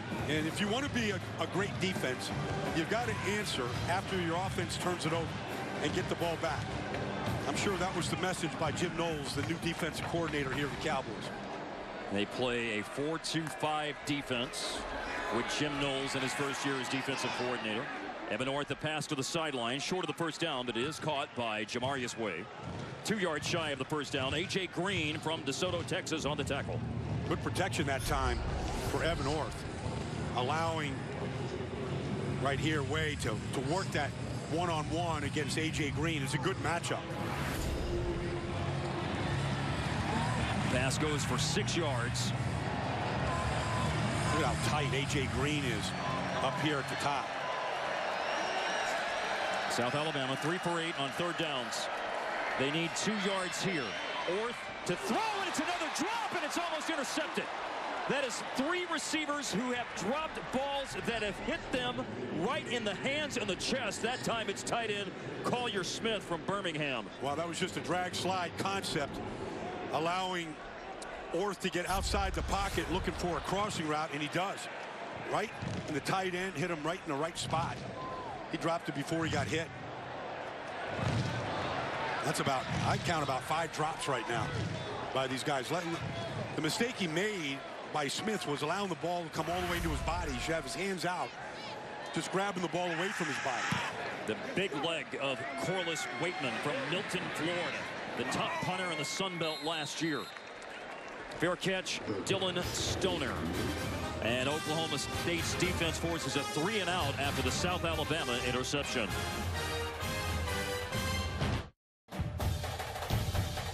College football on Fox is brought to you by Mercy.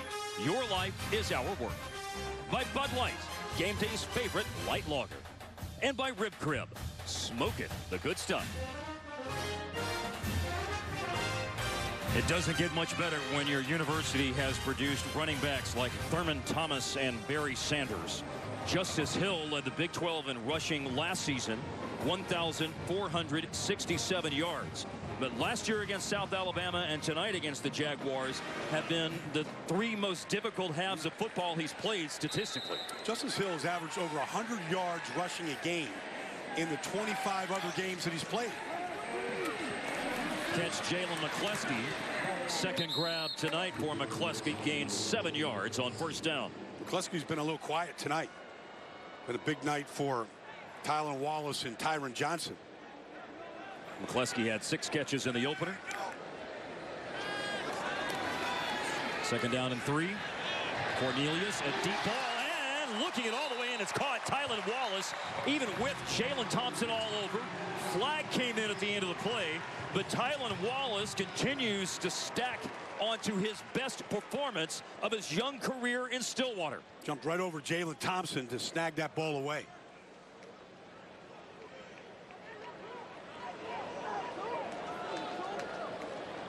Two fouls on the play. Offside defense, number 22. Pass interference defense. Both those fouls declined. Result of the play, first down. This throw down the right sideline here. It's a free play because of the offsides. And look at that hang time by Tylan Wallace, taking over for James Washington. 33 yards. Flags have come in again when Cornelius was flushed out of the pocket and ran it up to the 36. We'll see if that five-yard scramble stands. Doesn't look like it will. Plays with a lot of poise, though, when he gets outside the pocket. Personal foul, hands to the face, offense number 51. 15-yard penalty from the previous spot. Repeat first down. From Ypsilanti, Michigan, Arlington Hambright. Well, Hambright's the, the left tackle. So here he is on the outside. There's the hands to the face, right underneath the throat. He didn't get him off there. So good flag. Tough spot there by the left tackle. The edge rusher Chasen Milner from Spanish Fort, Alabama was the player that Hambright was trying to block. It's first and 25. A little step up by Cornelius. Down the middle on a long bomb and broken up. Thompson keeps it away from Tylan Wallace, who is at eight grabs for 133 yards in the game. It's a good job by Jalen Thompson coming back after the pass interference call and making this defense right here. Corn Dog does a good job of stepping up into that pocket to make this throw. That's right where he belongs. And he gave his receiver a good chance to go get it. Hands to the face penalty is why this is second down and 25. Backing up under pressure, Cornelius. This will be intentional grounding, it would appear. Yeah. He Jordan just- Beaton got him, Brian. Ken Williamson just threw the flag late. Intentional grounding, offense number 14. The penalty is loss and down, the spotted foul. Third down. It was originally a screen. He was buying some time, and they really did a good job of jumping the screen, taking it away, and then Taylor tried to extend the play. The play is, is going over here to the screen. They take it away. Now he's now he's just dumping the ball to get rid of it, save the sack. And that's why there was intentional grounding. So it was a bad series for Oklahoma State. Mike Yurcich is an outstanding offensive coordinator, but what can you do on third and 44? Justice Hill, best run of the game, but it still leaves them a long, long, long way away. That's Grayer, who's had a good game as well. Sean Grayer, the left end. These guys, I think, who have played a lot of snaps on both sides of the ball tonight are lucky that we get temperatures that are fairly cool here in early September in Stillwater. Oklahoma State has run 56 plays tonight. South Alabama has run 41 plays so far in this game, which is early in the third quarter. Hill just ran for 15 yards, but it still leaves the Cowboys with fourth and 29. You can start your day with first things first. Join Cris Carter, Nick Wright, and Jenna Wolfe for the best sports show on television. Weekday morning, 6.30 Eastern on FS1.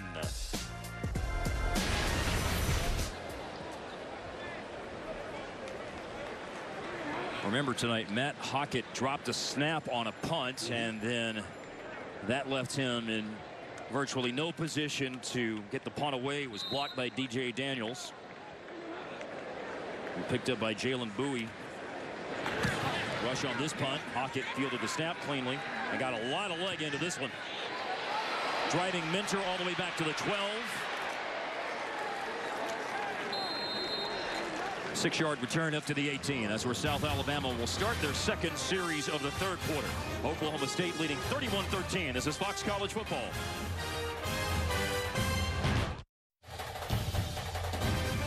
College football on Fox is brought to you by Ford.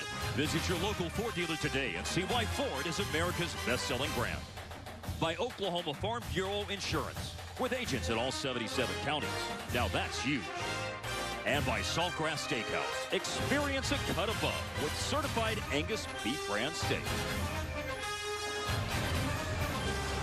From Boone Pickens Stadium in Stillwater, Oklahoma State, they're ranked 23rd in the coaches poll. They're two spots out of the Associated Press poll going into the second weekend of the season.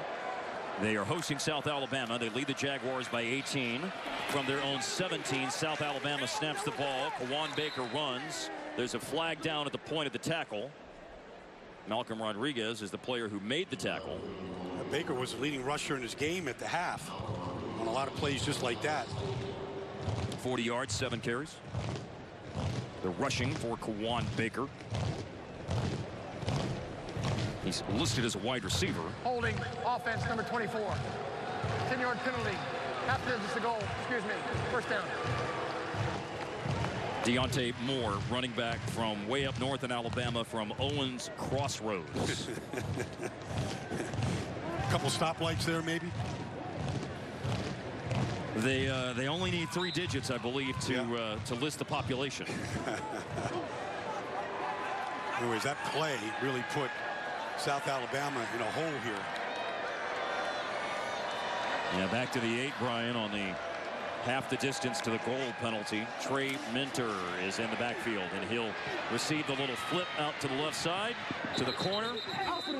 Beat Kolby Peel on the corner, but then a lot of other black shirts are waiting for him around the 15-yard line. 14 is officially where he goes out. Yeah, they've had some success with that. Just it's not really worth it trying to run inside on Oklahoma State. So they've done a lot of sweeps and quick screens to the outside, just trying to get to the perimeter, maybe make somebody miss a tackle out there.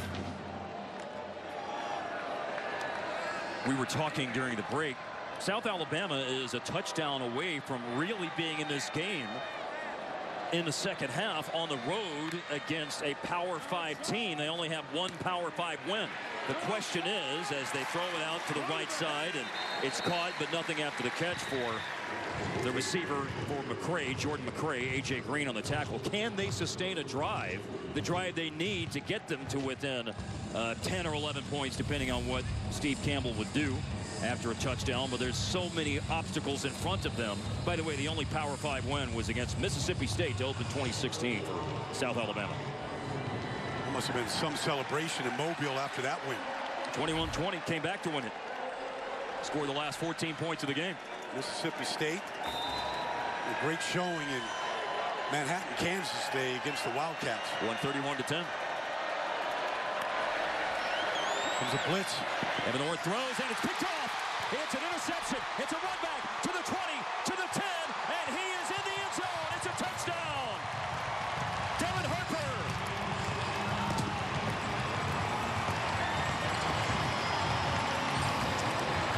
Now Steve Campbell's team have avoided the big mistakes to that throw by Orth. I don't think he ever saw Devin Harper. Right in the passing lane.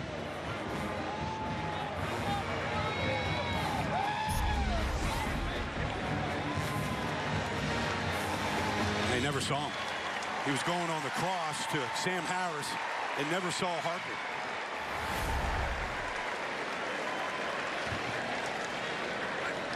Last season, Justin Phillips had a pick six against South Alabama for Oklahoma State. This year, it is Devin Harper who has one. Phillips' pick six was 25 yards last year. This one, 24 for Harper to extend the lead to 25 points.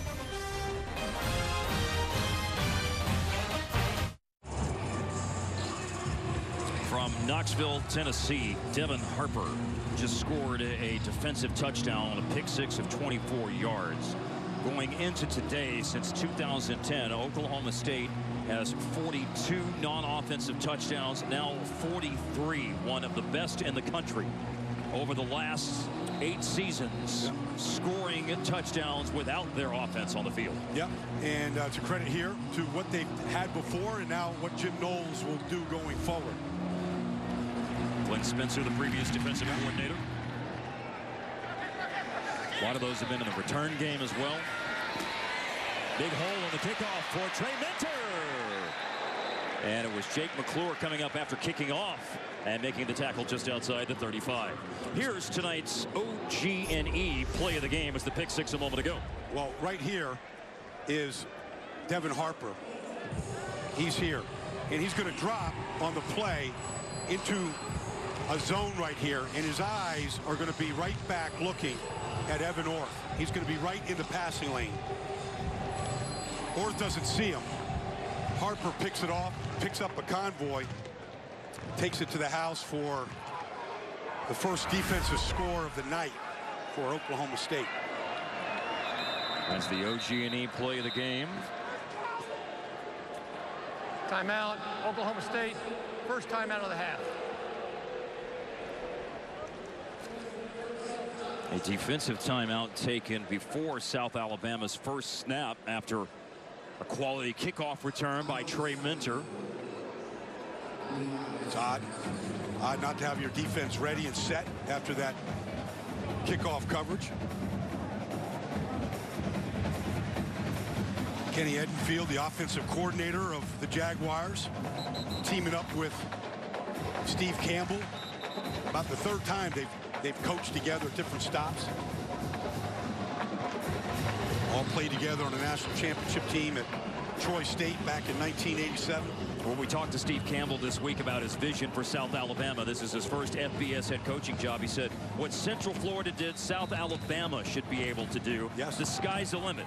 Great administration behind all things athletic and academic, including clearing ground for an on-campus stadium.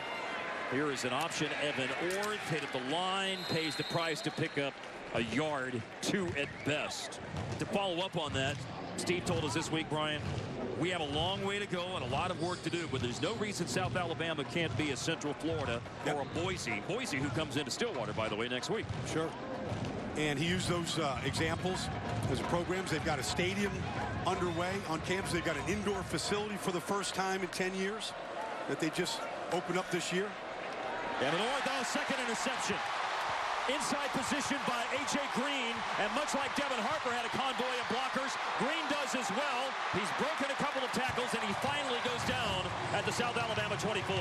Well, A.J. Green is an NFL caliber corner. He's got the size at 6'1".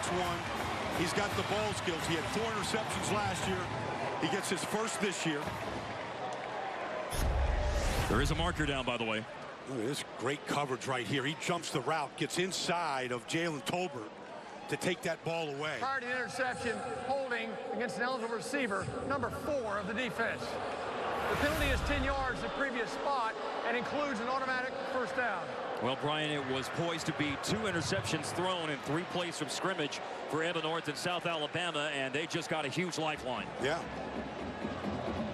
That call against A.J. Green on the outside, I didn't see it. He doesn't believe it. I thought he did a great job of cutting route, getting inside of Tolbert. There's the press man coverage looking right at the belt buckle. I didn't see it. I mean, I don't know. He just hand checked him, which is fine in the first. But South Alabama gets a break.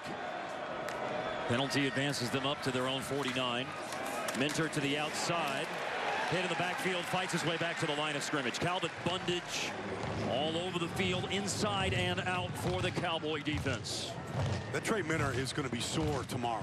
I mean, they, these uh, training rooms, they all have these ice baths. He's going to spend some time in an ice bath tomorrow because he's going to have some bumps and bruises the way this Cowboy defense has hit him today. A lot of them from that man right there, Calvin Bundage. Last week, it was tough sledding when he ran it 16 times and gained it 23 yards. Tonight, Minter has eight carries, one yard. His longest run is two yards tonight.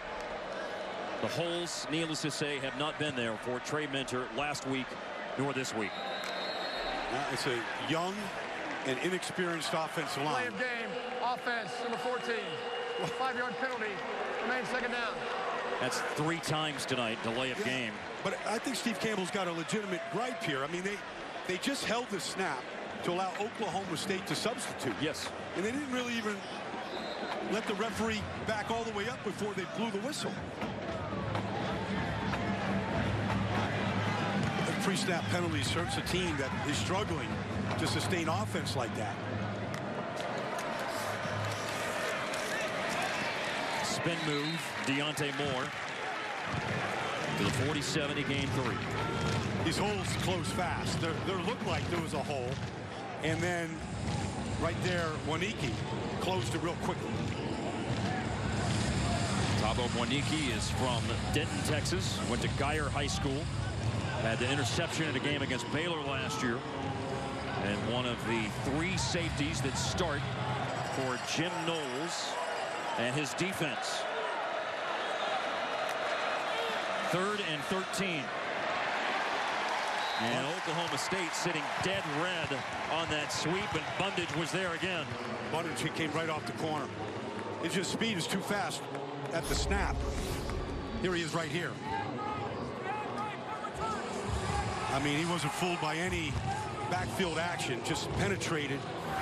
I don't think Steve Campbell is real happy about that delay a game penalty a couple plays before. 31% on third downs last season for South Alabama. 3 for 13 last week, 3 for 11 on third down tonight. Good punt. Wow. Wow. Corliss Waitman, that's why he's one of the best in the country. He's on the Ray Guy Award watch list. He was first team All Sun Belt last year, preseason first team All Sun Belt this year. He has got a cannon of a leg when he connects like he just did. And he can foul, leaping on receiving team.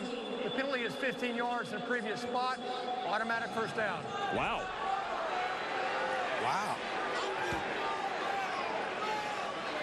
So that is a new rule this year. Let's see right here is what they're talking about. Or maybe it was the two guys that went. I don't know if Jelani Woods was the other one, 87. I thought they were just trying to go block the ball, uh, block the punt. Five penalty first downs in the game now for South Alabama. Five times a penalty committed by the Oklahoma State Cowboys have moved the chains for the Jaguars. Well, they better get a clearing. I mean, Mike Gundy's got to get an understanding of that rule going forward because a lot of teams protect just like South Alabama did.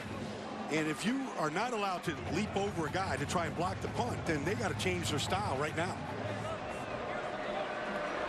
First time in the game that Cephus Johnson, redshirt freshman from Davidson High School in Mobile, will play tonight. He threw one pass last week, and Steve Campbell said in the aftermath of playing three quarterbacks last week, we didn't give Cephus Johnson enough of a look. We saw him down on the field. He's from Mobile, big school in Mobile. He's a good-looking athlete. Tall, rangy, athletic, redshirt freshman. 6'5", 225. And here is the arm, and he is going for the home run and just too far in front of Jamir Taylor. Well, that's a different style of football, throwing the ball down the field like that. Cephus just got to just calm himself down a little bit. That's the right read. Who's Wolf on the on the uh, Taylor on the break? Gets right behind A.J. Green. Runs right by him. I was Kenny Edenfield right here. I come back and dial that up right again. Well, he'll need something big play-wise on third down and eight. Cephus Johnson is flush from the pocket. And Kolby Peel read it all the way. Peel didn't concede any ground and just forced him out around the line of scrimmage. There's Evan Orth who started tonight and had played the distance until this moment middle of the third quarter when Cephus Johnson came in. Yeah, well, I thought he's played well except for the last throw intercepted by Devin Harper. Cephus Johnson coming in after a leaping penalty that was called on Logan Carter on a punt. Sustained the drive. So we'll see Corliss Waitman back out there again.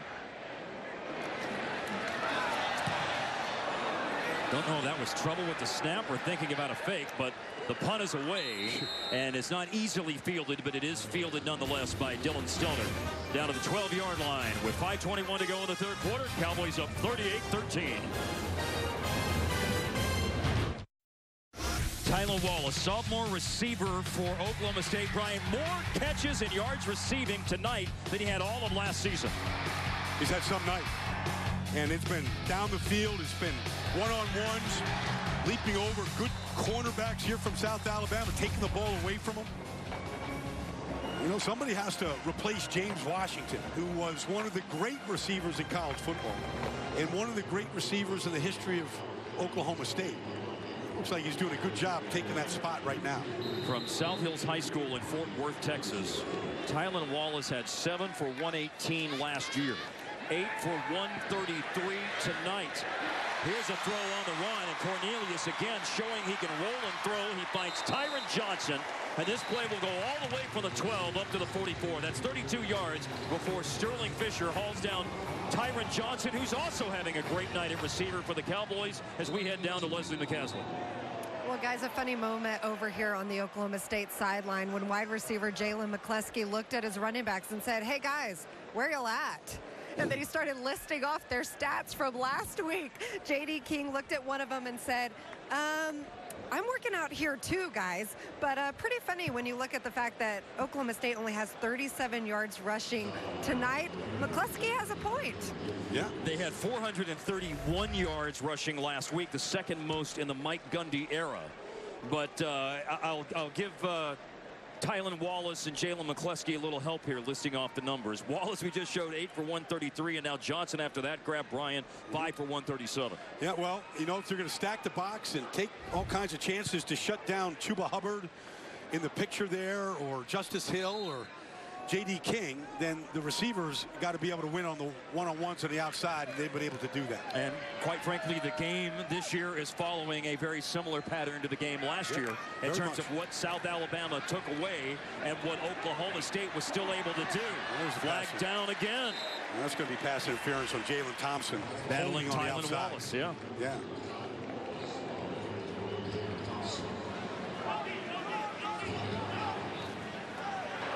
Pass interference, defense number one. 15-yard penalty from the previous spot. Automatic first down. Ninth penalty tonight, Brian, for South Alabama. Well, I mean, he's he's battling. He's looking back for the ball. He's not bad right there, but I thought he's just armbarred him and just try to keep him off him. I would say just stay aggressive out there, Jalen. You know the ball's going down the field to these receivers. Right now, it's kept by the quarterback Cornelius to the outside. And the big quarterback showing off the athleticism. He will rumble down inside the 10. It's first and goal. How about the stiff arm by Taylor Cornelius to get turned a corner on that play? We saw a 32-yard run from him a week ago. Right up the middle. This one was around the outside. Sneaky fast from the six-foot-five redshirt senior. Seven-yard line, first and goal. Cornelius flush from the pocket. Oh, throws an interception in the end zone. It's picked off in the end zone by linebacker Bull Barge. He made the same throw last week. An interception in the end zone against Missouri State. That's the one bad throw here tonight. It's the Here's second uh, Bull interception. Barge right here. His eyes are right at Taylor Cornelius. Zone coverage. He gets his drop. Great play by Bull Barges. Really tried to force that ball into Tyron Johnson. It's a really good catch by a linebacker, Brian. Yeah, I mean, he went high to get it. But, you know, he had the interception last week in the end zone, killed the drive, and does this week. And another takeaway here for South Alabama. They had three last week. Get another one here tonight. After three plays, the quarterback Cephus Johnson is out and Evan Orth is back. And Orth going down the right sideline incomplete. 38-13 Oklahoma State, late third quarter. When you think about this, uh, South Alabama's defense here has shut Oklahoma State out here in this third quarter. And the only points, the pick six by Devin Harper for the Cowboys.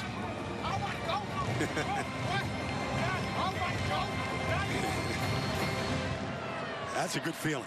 Stopping a drive, interception in the end zone, making an athletic play like Bull Barge just did. Or throws, and it's caught. And then Jordan McCray stepped out of bounds. They've got three really good receivers here at South Alabama. Jordan McCray is one of them. Jamarius Wade, Kawaan Baker. And Baker is a threat in Steve Campbell's offense to run the football just as much as he is to catch it. Yep. Matter of fact, he has touchdowns both ways tonight and had touchdowns both ways last week. They're down at four.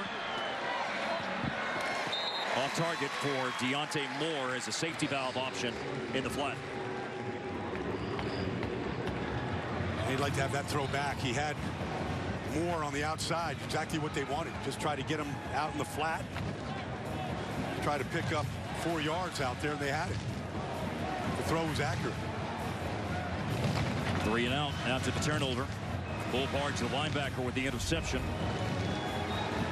This punter, though, has been a big story of the evening for South Alabama.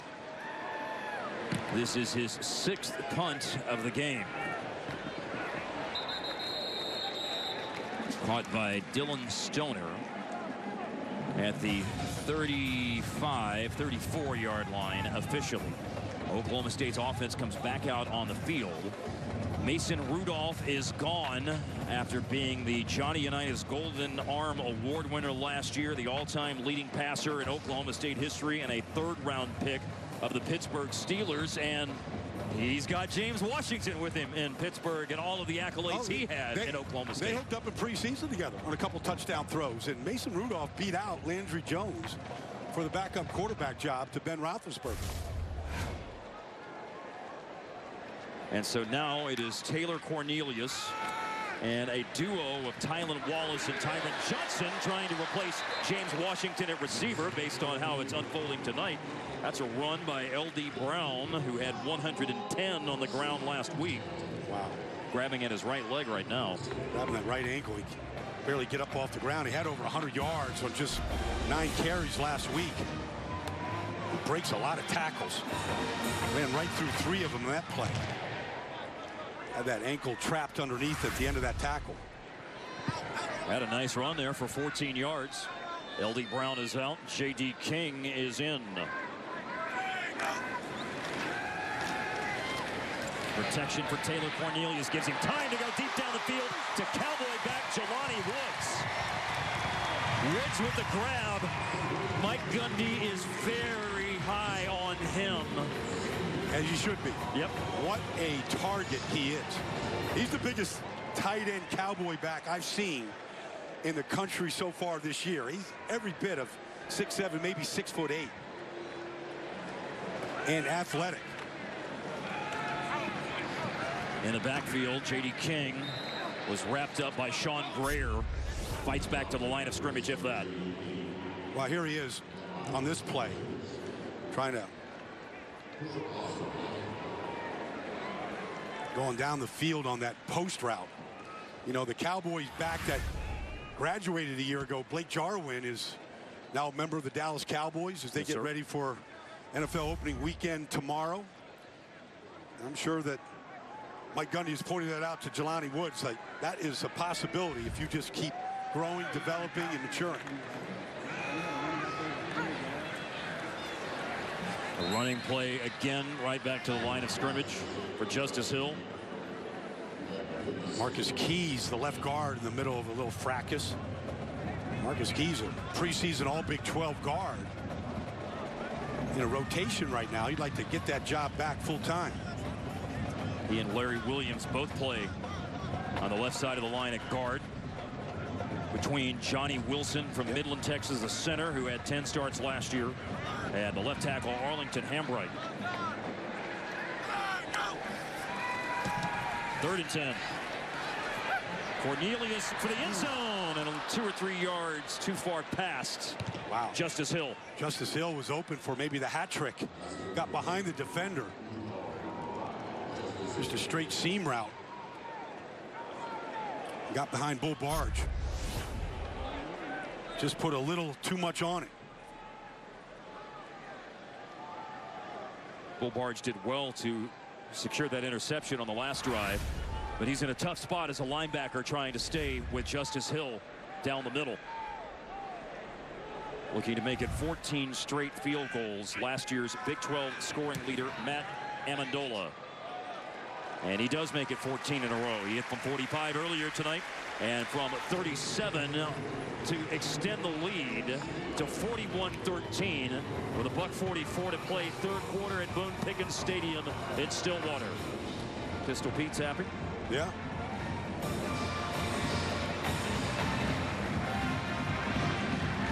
Taylor Cornelius engineers another scoring drive. Five touchdowns, four on offense, and a couple of field goals for the Cowboys tonight.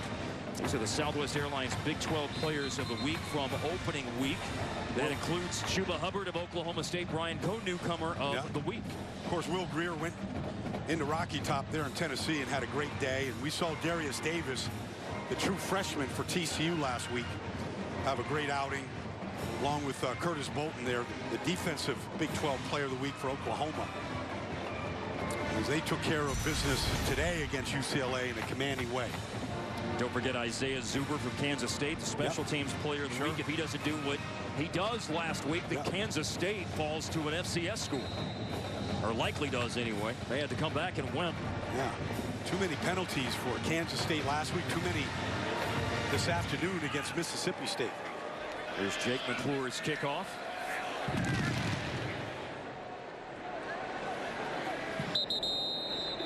At the 25 is where South Alabama will start with 144 to play in the third quarter. Six play 46 yard scoring drive. Matt Ammendola's 37 yard field goal ends it. Taylor Cornelius in his first start last week threw for 300 yards. He is now flirting with 400 yards tonight. 395 is where he sits here in the dying minutes of the third quarter. Well, they get Boise State coming in next week. The opponents will get tougher and tougher Yep. as they start getting ready for conference play in two weeks. Boise State ranked 20th in the nation going into play this week. Drop pass. Coming to the inside was Messiah Francis as Cephus Johnson is back in at quarterback for the second series that he's played tonight. And it's an incompletion to start the drive. There's Evan Orth who started and has played most of the snaps tonight. And played pretty tough and pretty, pretty well throughout the evening. For Cephus Johnson, they really need to just try to get him some completions here. That was a, a little screen pass that was dropped, but that's what they're trying to get here. Has thrown three passes in two games and they've all been incomplete. That was an inside run by Maurice Mayo for the Jaguars.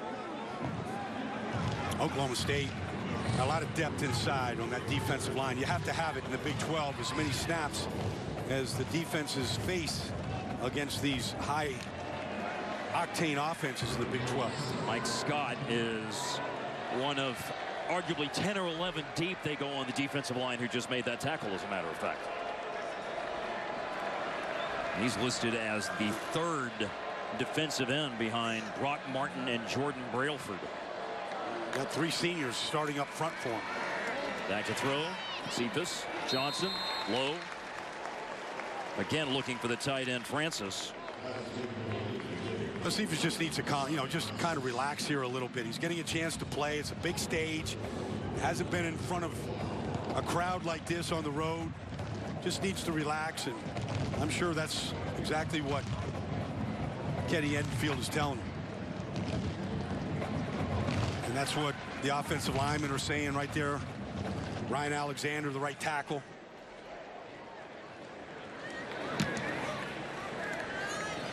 Another big leg punt by Corliss Waitman. Dillon Stoner spun away from one tackle, and then South Alabama, they blocked themselves out of a potential tackle, and Stoner is able to use that to open that return up to the 40-yard line. He did. You're going to see two Jaguars run into each other, knock each other off. There it is. And Stoner with tremendous speed gets to the corner. From Jenks. Yeah. Great program in Oklahoma. Won't surprise me to see him take one of those punts back this year for a touchdown.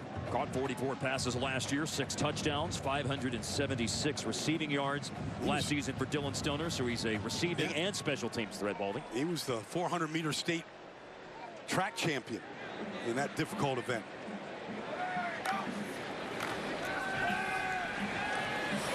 Cornelius looking at different options, and he finds one open in the middle of the field. Down goes Tylan Wallace, but to the South Alabama 35.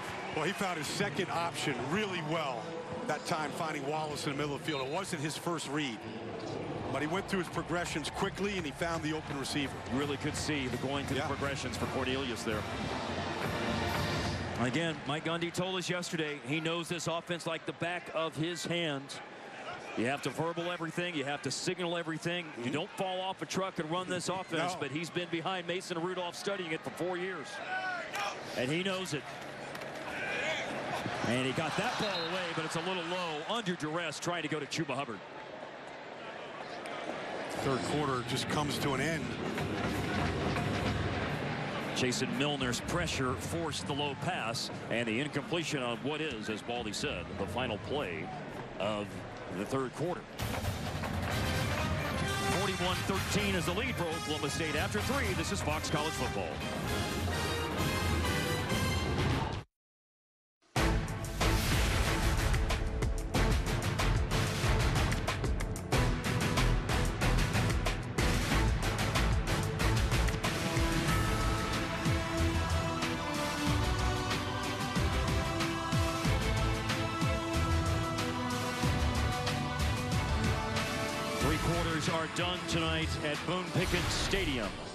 Home team, the Oklahoma State Cowboys, lead the South Alabama Jaguars 41-13.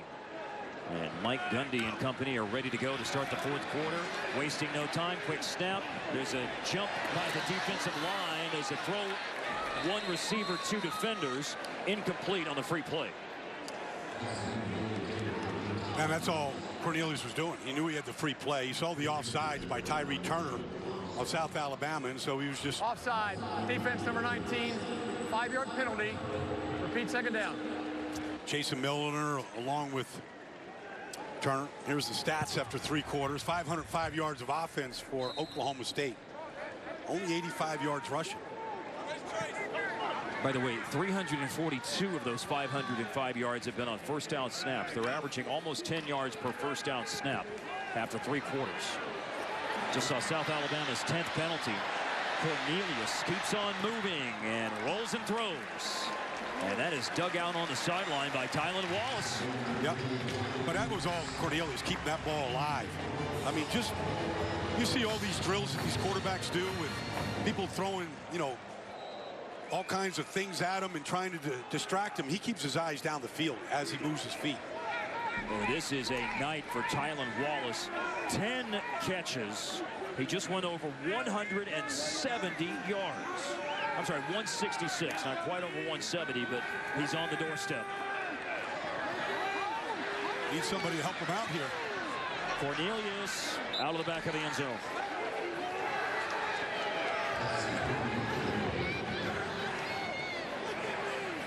Out of the pocket, Cornelius, even though it wasn't reflected necessarily on that play, Brian, but he can make things happen out of the pocket. Well, Mason Rudolph could do the same thing. You know, they're both Mason Rudolph was was stronger, physically stronger than Cornelius, but they both have big height, a big arm, and uh, they can extend these plays.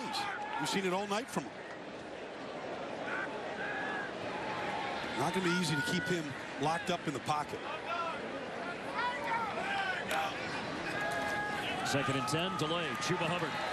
Hubbard in space. Here he goes. He's got a block from a receiver, and he's in. Touchdown, Oklahoma State.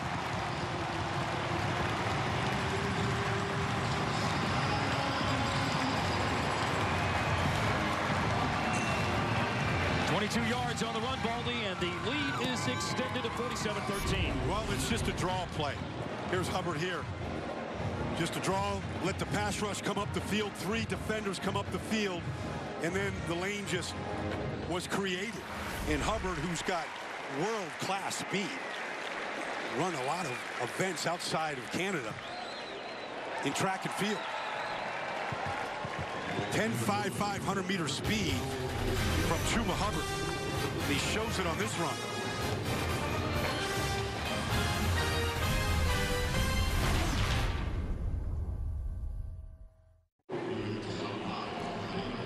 14 minutes left to play. 48-13. Oklahoma State scored 24 unanswered points. And the Jimmy John's player of the game is Taylor Cornelius, the Cowboys quarterback. Well, it's been the touch on the ball in the end zone. It's his ability to keep the eyes down the field, Mark, that has impressed me all night. He doesn't read the rush. And he's able to extend these plays, whether he's throwing it, turning the corner here, taking off with it and dashing. Look at this job in the pocket right there. That's just how you coach it up while your eyes are up. And all young quarterbacks can learn a lot by watching Corn Dog right here tonight. How he's able to extend the plays as he looks down the field trying to always be a thrower first and a runner second. He does have a 34-yard run tonight, but more importantly, he has thrown for 428 yards, a touchdown, and two picks. Now, it's a luxury having a redshirt senior that has played behind Mason Rudolph all these years to be able to come in and take over. Run out of the end zone by South Alabama's Trey Minter, and doesn't even make it back to the 15-yard line. And the thing about Taylor Cornelius, Brian, that Mike Gundy told us yesterday, and there are other players that would fit this example, but he's a player that fits the Stillwater culture. Mike said, you know, we're college town America. Mm -hmm. We get players here. We train them. We take care of them. We do the right thing. We bring them along. We hold them accountable, but we don't beat them to death.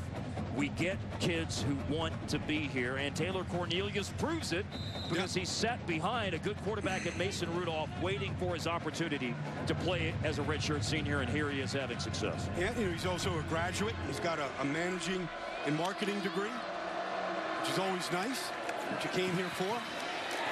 Caught by Kawaan Baker on the first snap tonight from Cole Garvin at quarterback for South Alabama.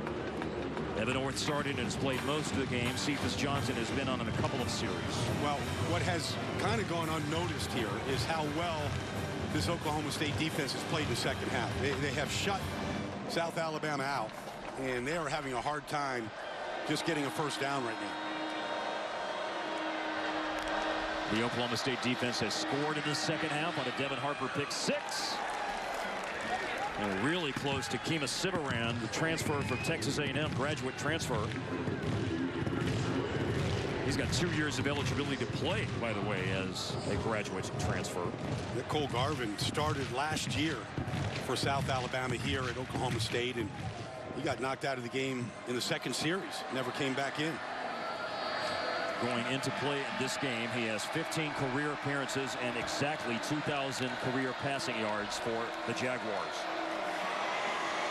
keeping it, diving over the 20, short of the first down by three yards on third and 10.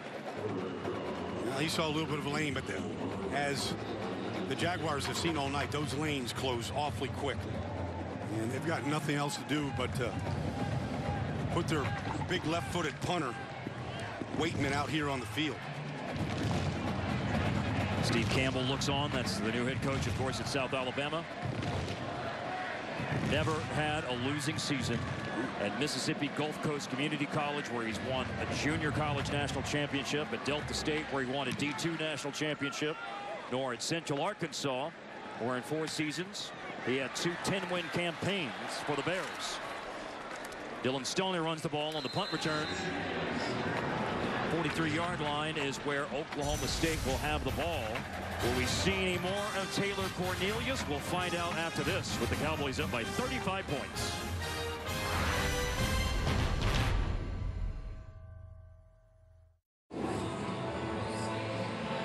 Oklahoma State is at home leading South Alabama 48-13 but right now we take a peek at the upcoming road schedule for them. We're brought to you by Logan's Roadhouse. They won't play on the road until September 29th when they visit the Kansas Jayhawks Kansas State and Baylor. But it gets tough on the road at the end Brian with OU and TCU well what a game it was against Bedlam in Oklahoma a year ago in Baker Mayfield and what that turned out to be. Keondre Wudtee is now a quarterback. It's a handoff and a run up the middle by J.D. King. Last year on the road in their 10 and 3 season, Oklahoma State was the only FBS school to go 6-0 yep. away from home. Running it again is King. And he reaches the South Alabama 30. Markers down. A little extracurricular activity here.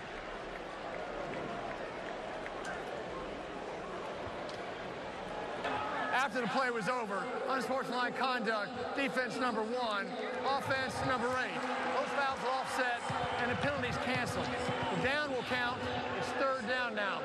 That's number eight and number one's first unsportsmanlike conduct fouls of the game. Of course, another one by either player will be ejected.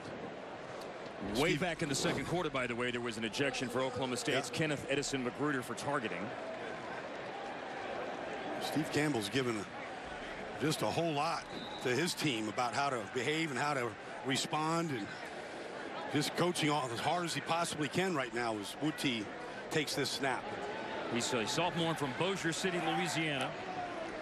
Mop-up duty against Missouri State last week, and Wudtee went one for three throwing the ball, and that one is incomplete. By the way, Ken Williamson incorrectly identified that it would be third down. It is first down and 10 when Wudtee just threw that interception. Wudtee is, yeah, just a, a redshirt sophomore, so this is his third year that he's been here. He understands the offense. He's run the scout team here as he signals the play into the skilled players. And as Wudtee relieves Taylor Cornelius with three minutes gone by in the fourth quarter. Cowboys have the ball at the 30 of South Alabama. Wudtee keeping, pump fake, run. Oh, that was, as Brian called it earlier, a deep pleader from the Cowboy back Logan Carter. And they're going to flag him for hitting a defenseless player, but it was vicious. Blindside block, Brian? Yeah. Personal foul, targeting, defenseless pair, number 87. Previous play is under review. Well, let's just see here. Here he is looking for somebody to block, and he leans, comes back. It's one of those peel back blocks, it's a Brian. peel back. It looked like he hits him in the shoulder of the face mask. I don't know that he hit him in the helmet. I, he definitely didn't hit him in the helmet. It looked like he led with his shoulder. I think this might get overturned for targeting. Like it's a pretty clean hit, be honest with you. Oh, well, it is. He definitely led with his crown of the helmet. But he hit him in the shoulder, I thought. You know, we saw Ben Banogu for TCU last week. And, and After a call further was review, reversed. the ruling on the field is confirmed. 15-yard penalty, automatic first down. Correction, it's on the offense, 87-yard. 87 is the culprit, 15-yard penalty, second down. He's not arguing, he's going right off the field. Right into the locker room and he won't be able to play until the second no. half of next week's game against Boise State. It, sometimes you have to look at intent. I didn't think there was any intent to. He's just looking for somebody to block there on the outside. You know, you referenced earlier the fact that the leading with the helmet and the helmet to helmet and those kind of plays are trying to be taken out of the yep. game. Another thing that certainly is drawing more and more attention is that peel back blind yep. side block that we just saw. Well, it used to be commonplace, but they are trying to clean it up. Defenseless player. I didn't think he hit him in the helmet, helmet to helmet. I thought it was more to the chest area, but they want to take those plays out. So that's how you have to do it. They all get reviewed.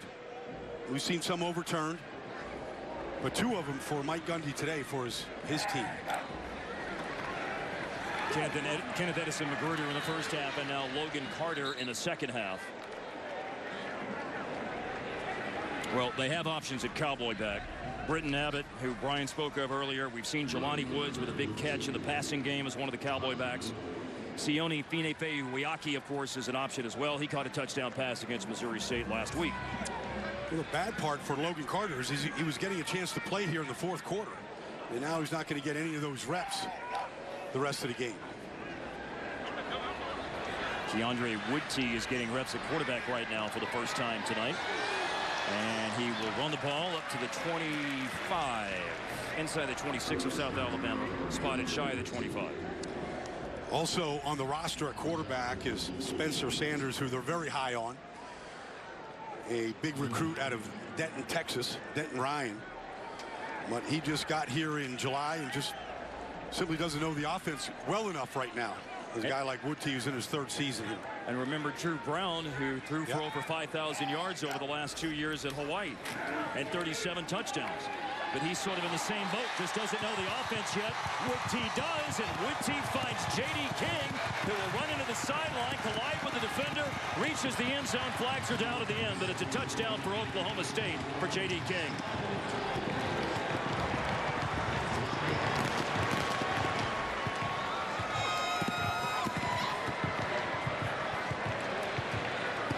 J.D. King made a player miss on the outside. He's just coming this way here on a flare. We've seen Justice Hill score in the same play. He made Bull Barge miss. And then he didn't just run into the end zone. He No. decided to, look to deliver a hit to Spencer Perry, as he did. Yeah, slowed up just to deliver one. Scored a touchdown and got himself a knockdown at the same time. With 10:26 left in the game, and it is now 34. I'm sorry, 30 unanswered points. After the score, unsportsmanlike conduct, 27 of the offense. That penalty occurred after the score will be enforced on the succeeding spot. That's number 27's first unsportsmanlike conduct foul of the game. Well, it wasn't the hit that he had on the defender. It was the taunting afterwards that they flagged.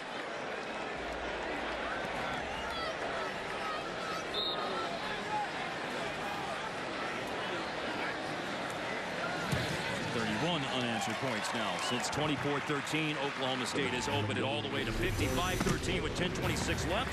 The last score by J.D. King, powering his way into the end zone.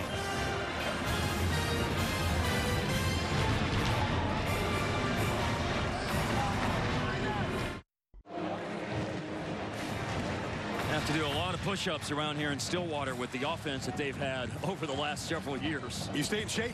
You I do. mean, put up 58 points last week. They've got 55 right now, but things are going to get tougher around here. Boise State comes in, and they got a 20th ranked team coming in. They were handling business tonight. It'll be a much better test for Oklahoma State and for Mike Gundy. Scoring drive of seven plays, 42 yards, ending with Keondre Wudtee's first career touchdown pass. Like the running backs all sit in order right there, don't they? Like assigned seats. They all had a hand in it last week. They've all had a, a hand in it this week. Short kickoff, Trey Minter. Minter looks much more elusive in the return game than he does as a running back. Of course, Oklahoma State's defense has something to say about that. And their defense has been very good as the Saltgrass, Saltgrass Steakhouse second half game summary will show because they have held South Alabama tonight to 182 yards. No points in the second half. 592 yards in the game for Oklahoma State in total. Well, it's been all phases of the defense, too. It's been tackling, penetration, pass rush for Jim Knowles, and then the coverage has just been a big blanket on these receivers that had a decent first half for South Alabama. Defense has scored tonight. Pick six by Devin Harper in the third quarter. Running the ball. Oh, it opens up for DeAndre Moore. One of the biggest plays in the run game. And I think it probably will be the biggest play in the running game. The longest run South Alabama had prior to that was 13 yards. Well, that was the best power run for sure that they've had, breaking some tackles here. Just an inside handoff, an outside zone. He breaks one tackle. Finally brought down on the outside.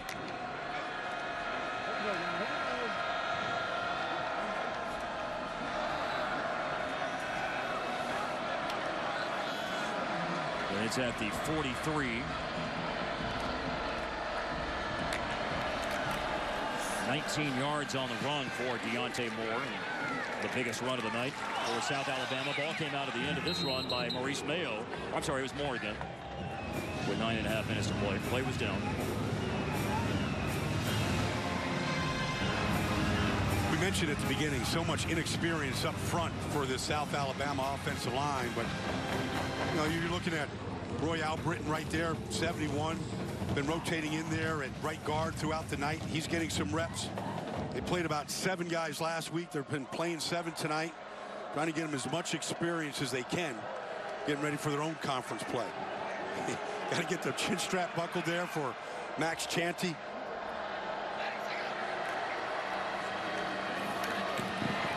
Moore runs the ball again to the Oklahoma State 38. Cameron Murray with that tackle. We were talking about the offensive line. We noted earlier tonight they have three players who made their first start last week. They have another in Troy Thingstad at left tackle who made his third career start tonight. Ryan Alexander from Floral Park, New York, the only offensive lineman, the starting right tackle, who has a lot of experience as a starter with 18 career starts as of tonight. Tell you what, Floral Park, New York to Mobile, Alabama. That's that, that's some recruiting. Zeke Powell is the other tackle right now on the left. Oh. Crunch. They meet at the quarterback. Down went Cole Garvin. Darrion Daniels and Amen Ogbongbemiga. Garvin lost his helmet. You cannot hold the ball against this kind of pressure. They're coming right up the middle here. Was a free run by the captain. Ogbong Benmiga. And he is, yeah, that's right. He is a captain, one of the four captains for Oklahoma State today. Pulled his helmet right off, too. It was actually wasn't his hand that pulled it off. He got caught underneath the shoulder pad. And Cameron Murray was the other defender who arrived along with Ogbongbemiga at the same time at quarterback Cole Garvin.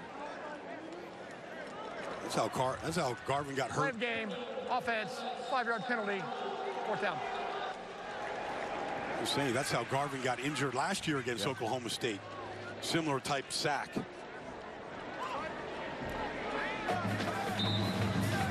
South Alabama has 12 penalties now tonight. Meanwhile, Oklahoma State has 100 penalty yards. Both coaches will want to discuss that with their teams regardless of result tonight. Uh, here's a problem in the punt game, a collision. Real communication problem. Landon Wolf is able to field it, and he's down instantly. 7.35 to go. Big lead for the Cowboys at home.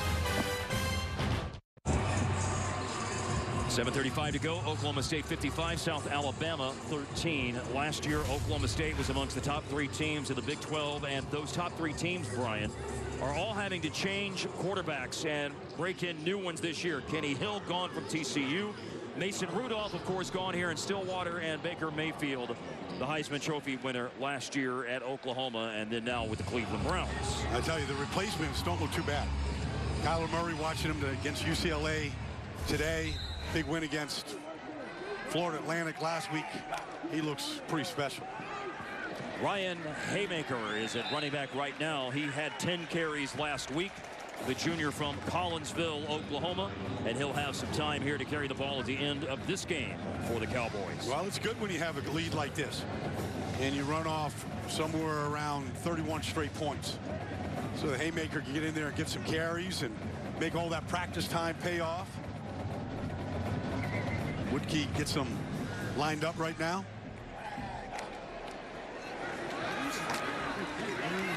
Wudtee threw a touchdown pass on the last drive. It bounces out to the right side and is over the 35 and that's what he needed for the first down easily past 35 spotted down at the 39 with under seven minutes to play Alabama will get ready for Texas State next week That's a Sun Belt Conference game. Sun Belt Conference South, game, yeah. yeah first Alabama. conference game for Steve Campbell. It's a 10-team conference, the Sun Belt, with two five-team divisions. South Alabama picked to be third in the five-team Eastern Division. The best running backs in the Big 12 now take center stage with those three teams we talked about having to replace those outstanding quarterbacks. Justice Hill led the Big 12 in rushing last year. Rodney Anderson, 18 touchdowns last year. They hope he's healthy after an injury today.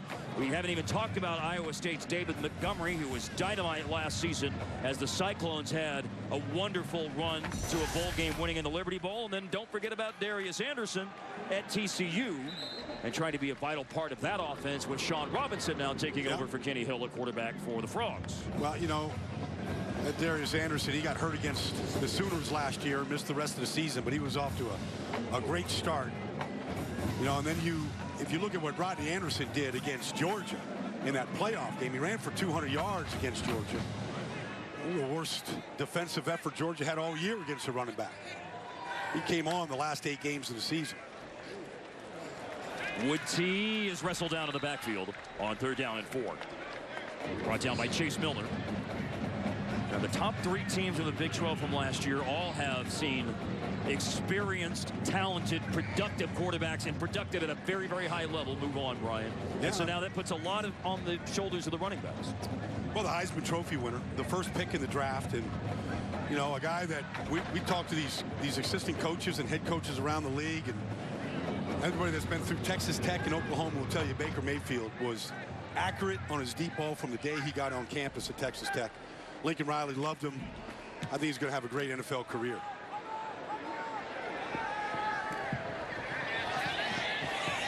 Hunt is going to be killed. Bad field position for South Alabama with 440 left in the game.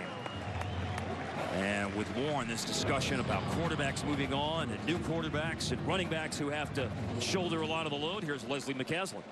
Well, guys, we joked earlier about how the running backs from Oklahoma State haven't had a lot of um, well, they haven't had a lot of yardage, to be specific, out there today. It hasn't been their best game, but they are by far the strength of this offense. And Justice Hill in particular, Gundy said he was, quote, special. He could do it all. And he said he would be hard to find somebody that's better than him in the nation right now. And when I talked to Mike Yurcich just about this group as a whole before the game, he couldn't say enough about how good this group is. Not just talented and athletic, but what a good group of guys they are. So they really feel like they have something special at running back this year, and they have the depth too, Mark. And the defense may have just scored some points. Is this going to be ruled a safety? Amen. Ogbongbemiga was in that stop as well, but forward progress is just outside the goal line.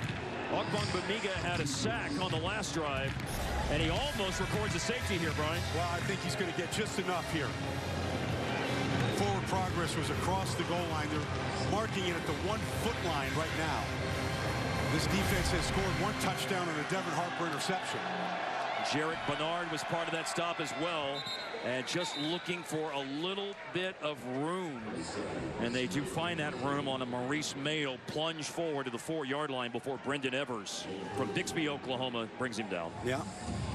But anytime a defense gets an offense trapped down here inside the five, that's what you're thinking about. You're thinking about that big play, that negative play that can result in a safety. Great defenses are scoring defenses.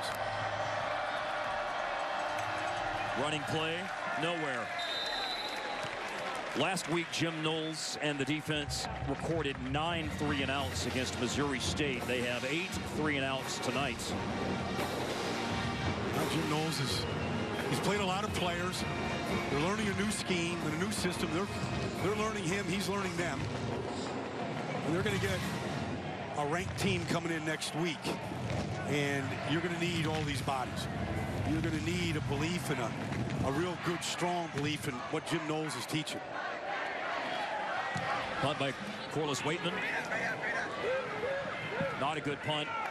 Out of bounds. Yesterday, Mike Gundy told us, I like to hire coaches. And by the way, Mike Yurcich, who came from Division II Shippensburg State, yep. is, is in the same mold. But he said, I like to hire coaches that have been at places where they don't have the best players and have had success. We don't have a lot of NFL players that come through here.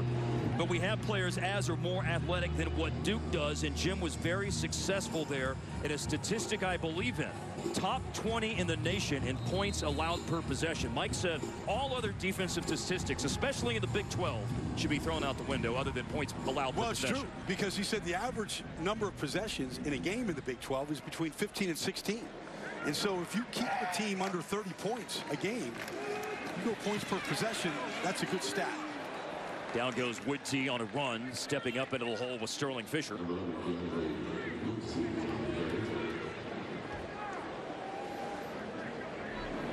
And 15-16 is the number of drives that the teams have had tonight. Oklahoma State 15 drives, South Alabama 16 drives, and that point about how many possessions occur mm -hmm. in these Big 12 games. With these high-powered offenses. But we have seen Brian as Ryan Haymaker runs the ball again. If you are a defensive coordinator with the scheme and a commitment to it Look at what happened with Jon Heacock of the Double Cloud at Yep. Iowa State last year. Defenses are not helpless in this league by No. any stretch of the imagination. No, Jay, Jon Heacock changed his defense early in the season last year. He went down to Oklahoma and beat the Sooners. Uh, you look at what Gary Patterson has consistently done at TCU. Uh, I think it, the, the whole conference gets a bad name when it comes to defense. You know, Mike Gundy said, did you see, oh, here we go, Haymaker getting out of that Yeah. tackle, keeping that play alive. Mike Gundy pointed out that Georgia team was pretty darn good Yes. in the semifinals, and Oklahoma put up a lot of points on them. There's Mike, whose team is less than 90 seconds away from recording the 116th victory for Coach Gundy since taking over in 2005 at his alma mater here in Stillwater. He wants to take as much time off the clock as he can here. And he'd love to pick up the first down and then take a knee and put a bow on this one. Get to 2 and oh.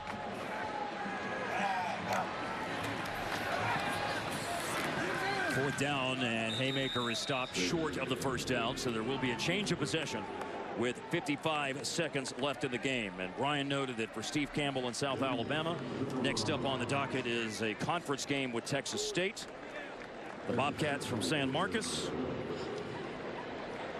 Steve Campbell and South Alabama, I do think, have good days ahead because the track record of 19 coaching seasons and never having a losing season. That, that speaks volumes. He thought it was a really attractive job. You know, this is the 10th season of football at South Alabama. They've had success in other sports. Basketball, they've been very good. Uh, he follows all of it. Baseball has Yeah. been a game, a win away from going to the College World Series a couple of times recently.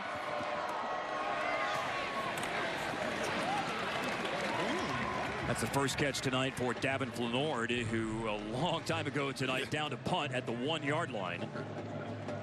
There's Taylor Cornelius. His second start will be a successful one with 428 passing yards tonight.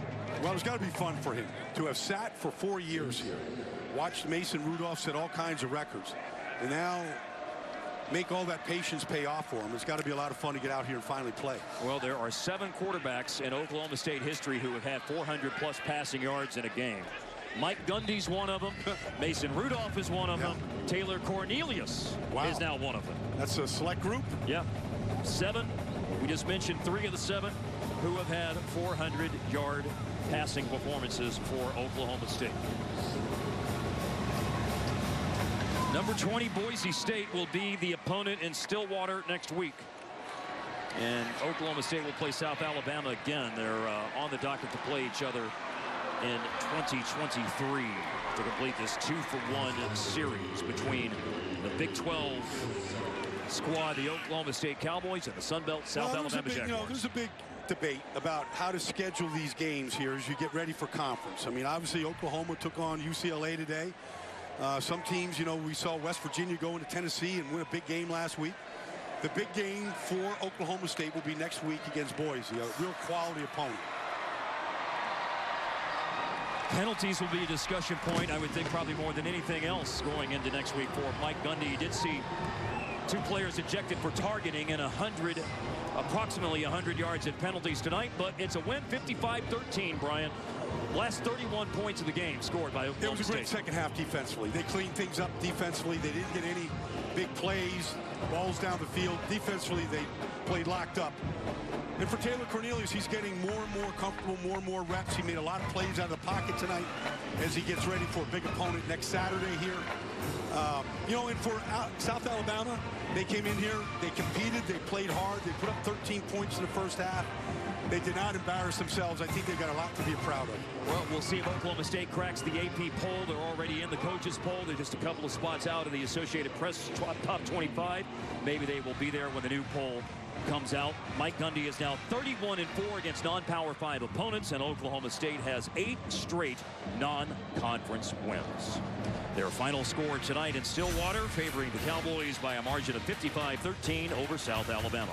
Next Saturday more Big 12 football on FSN. Kansas hosting Rutgers at 12 Eastern. Bill Snyder and Kansas State will take on UTSA. Brian and I have the call about it 4 Eastern. For Brian Baldinger, Leslie McCaslin, and our fine crew in Stillwater, Oklahoma, I'm Mark Followill. Thanks for watching.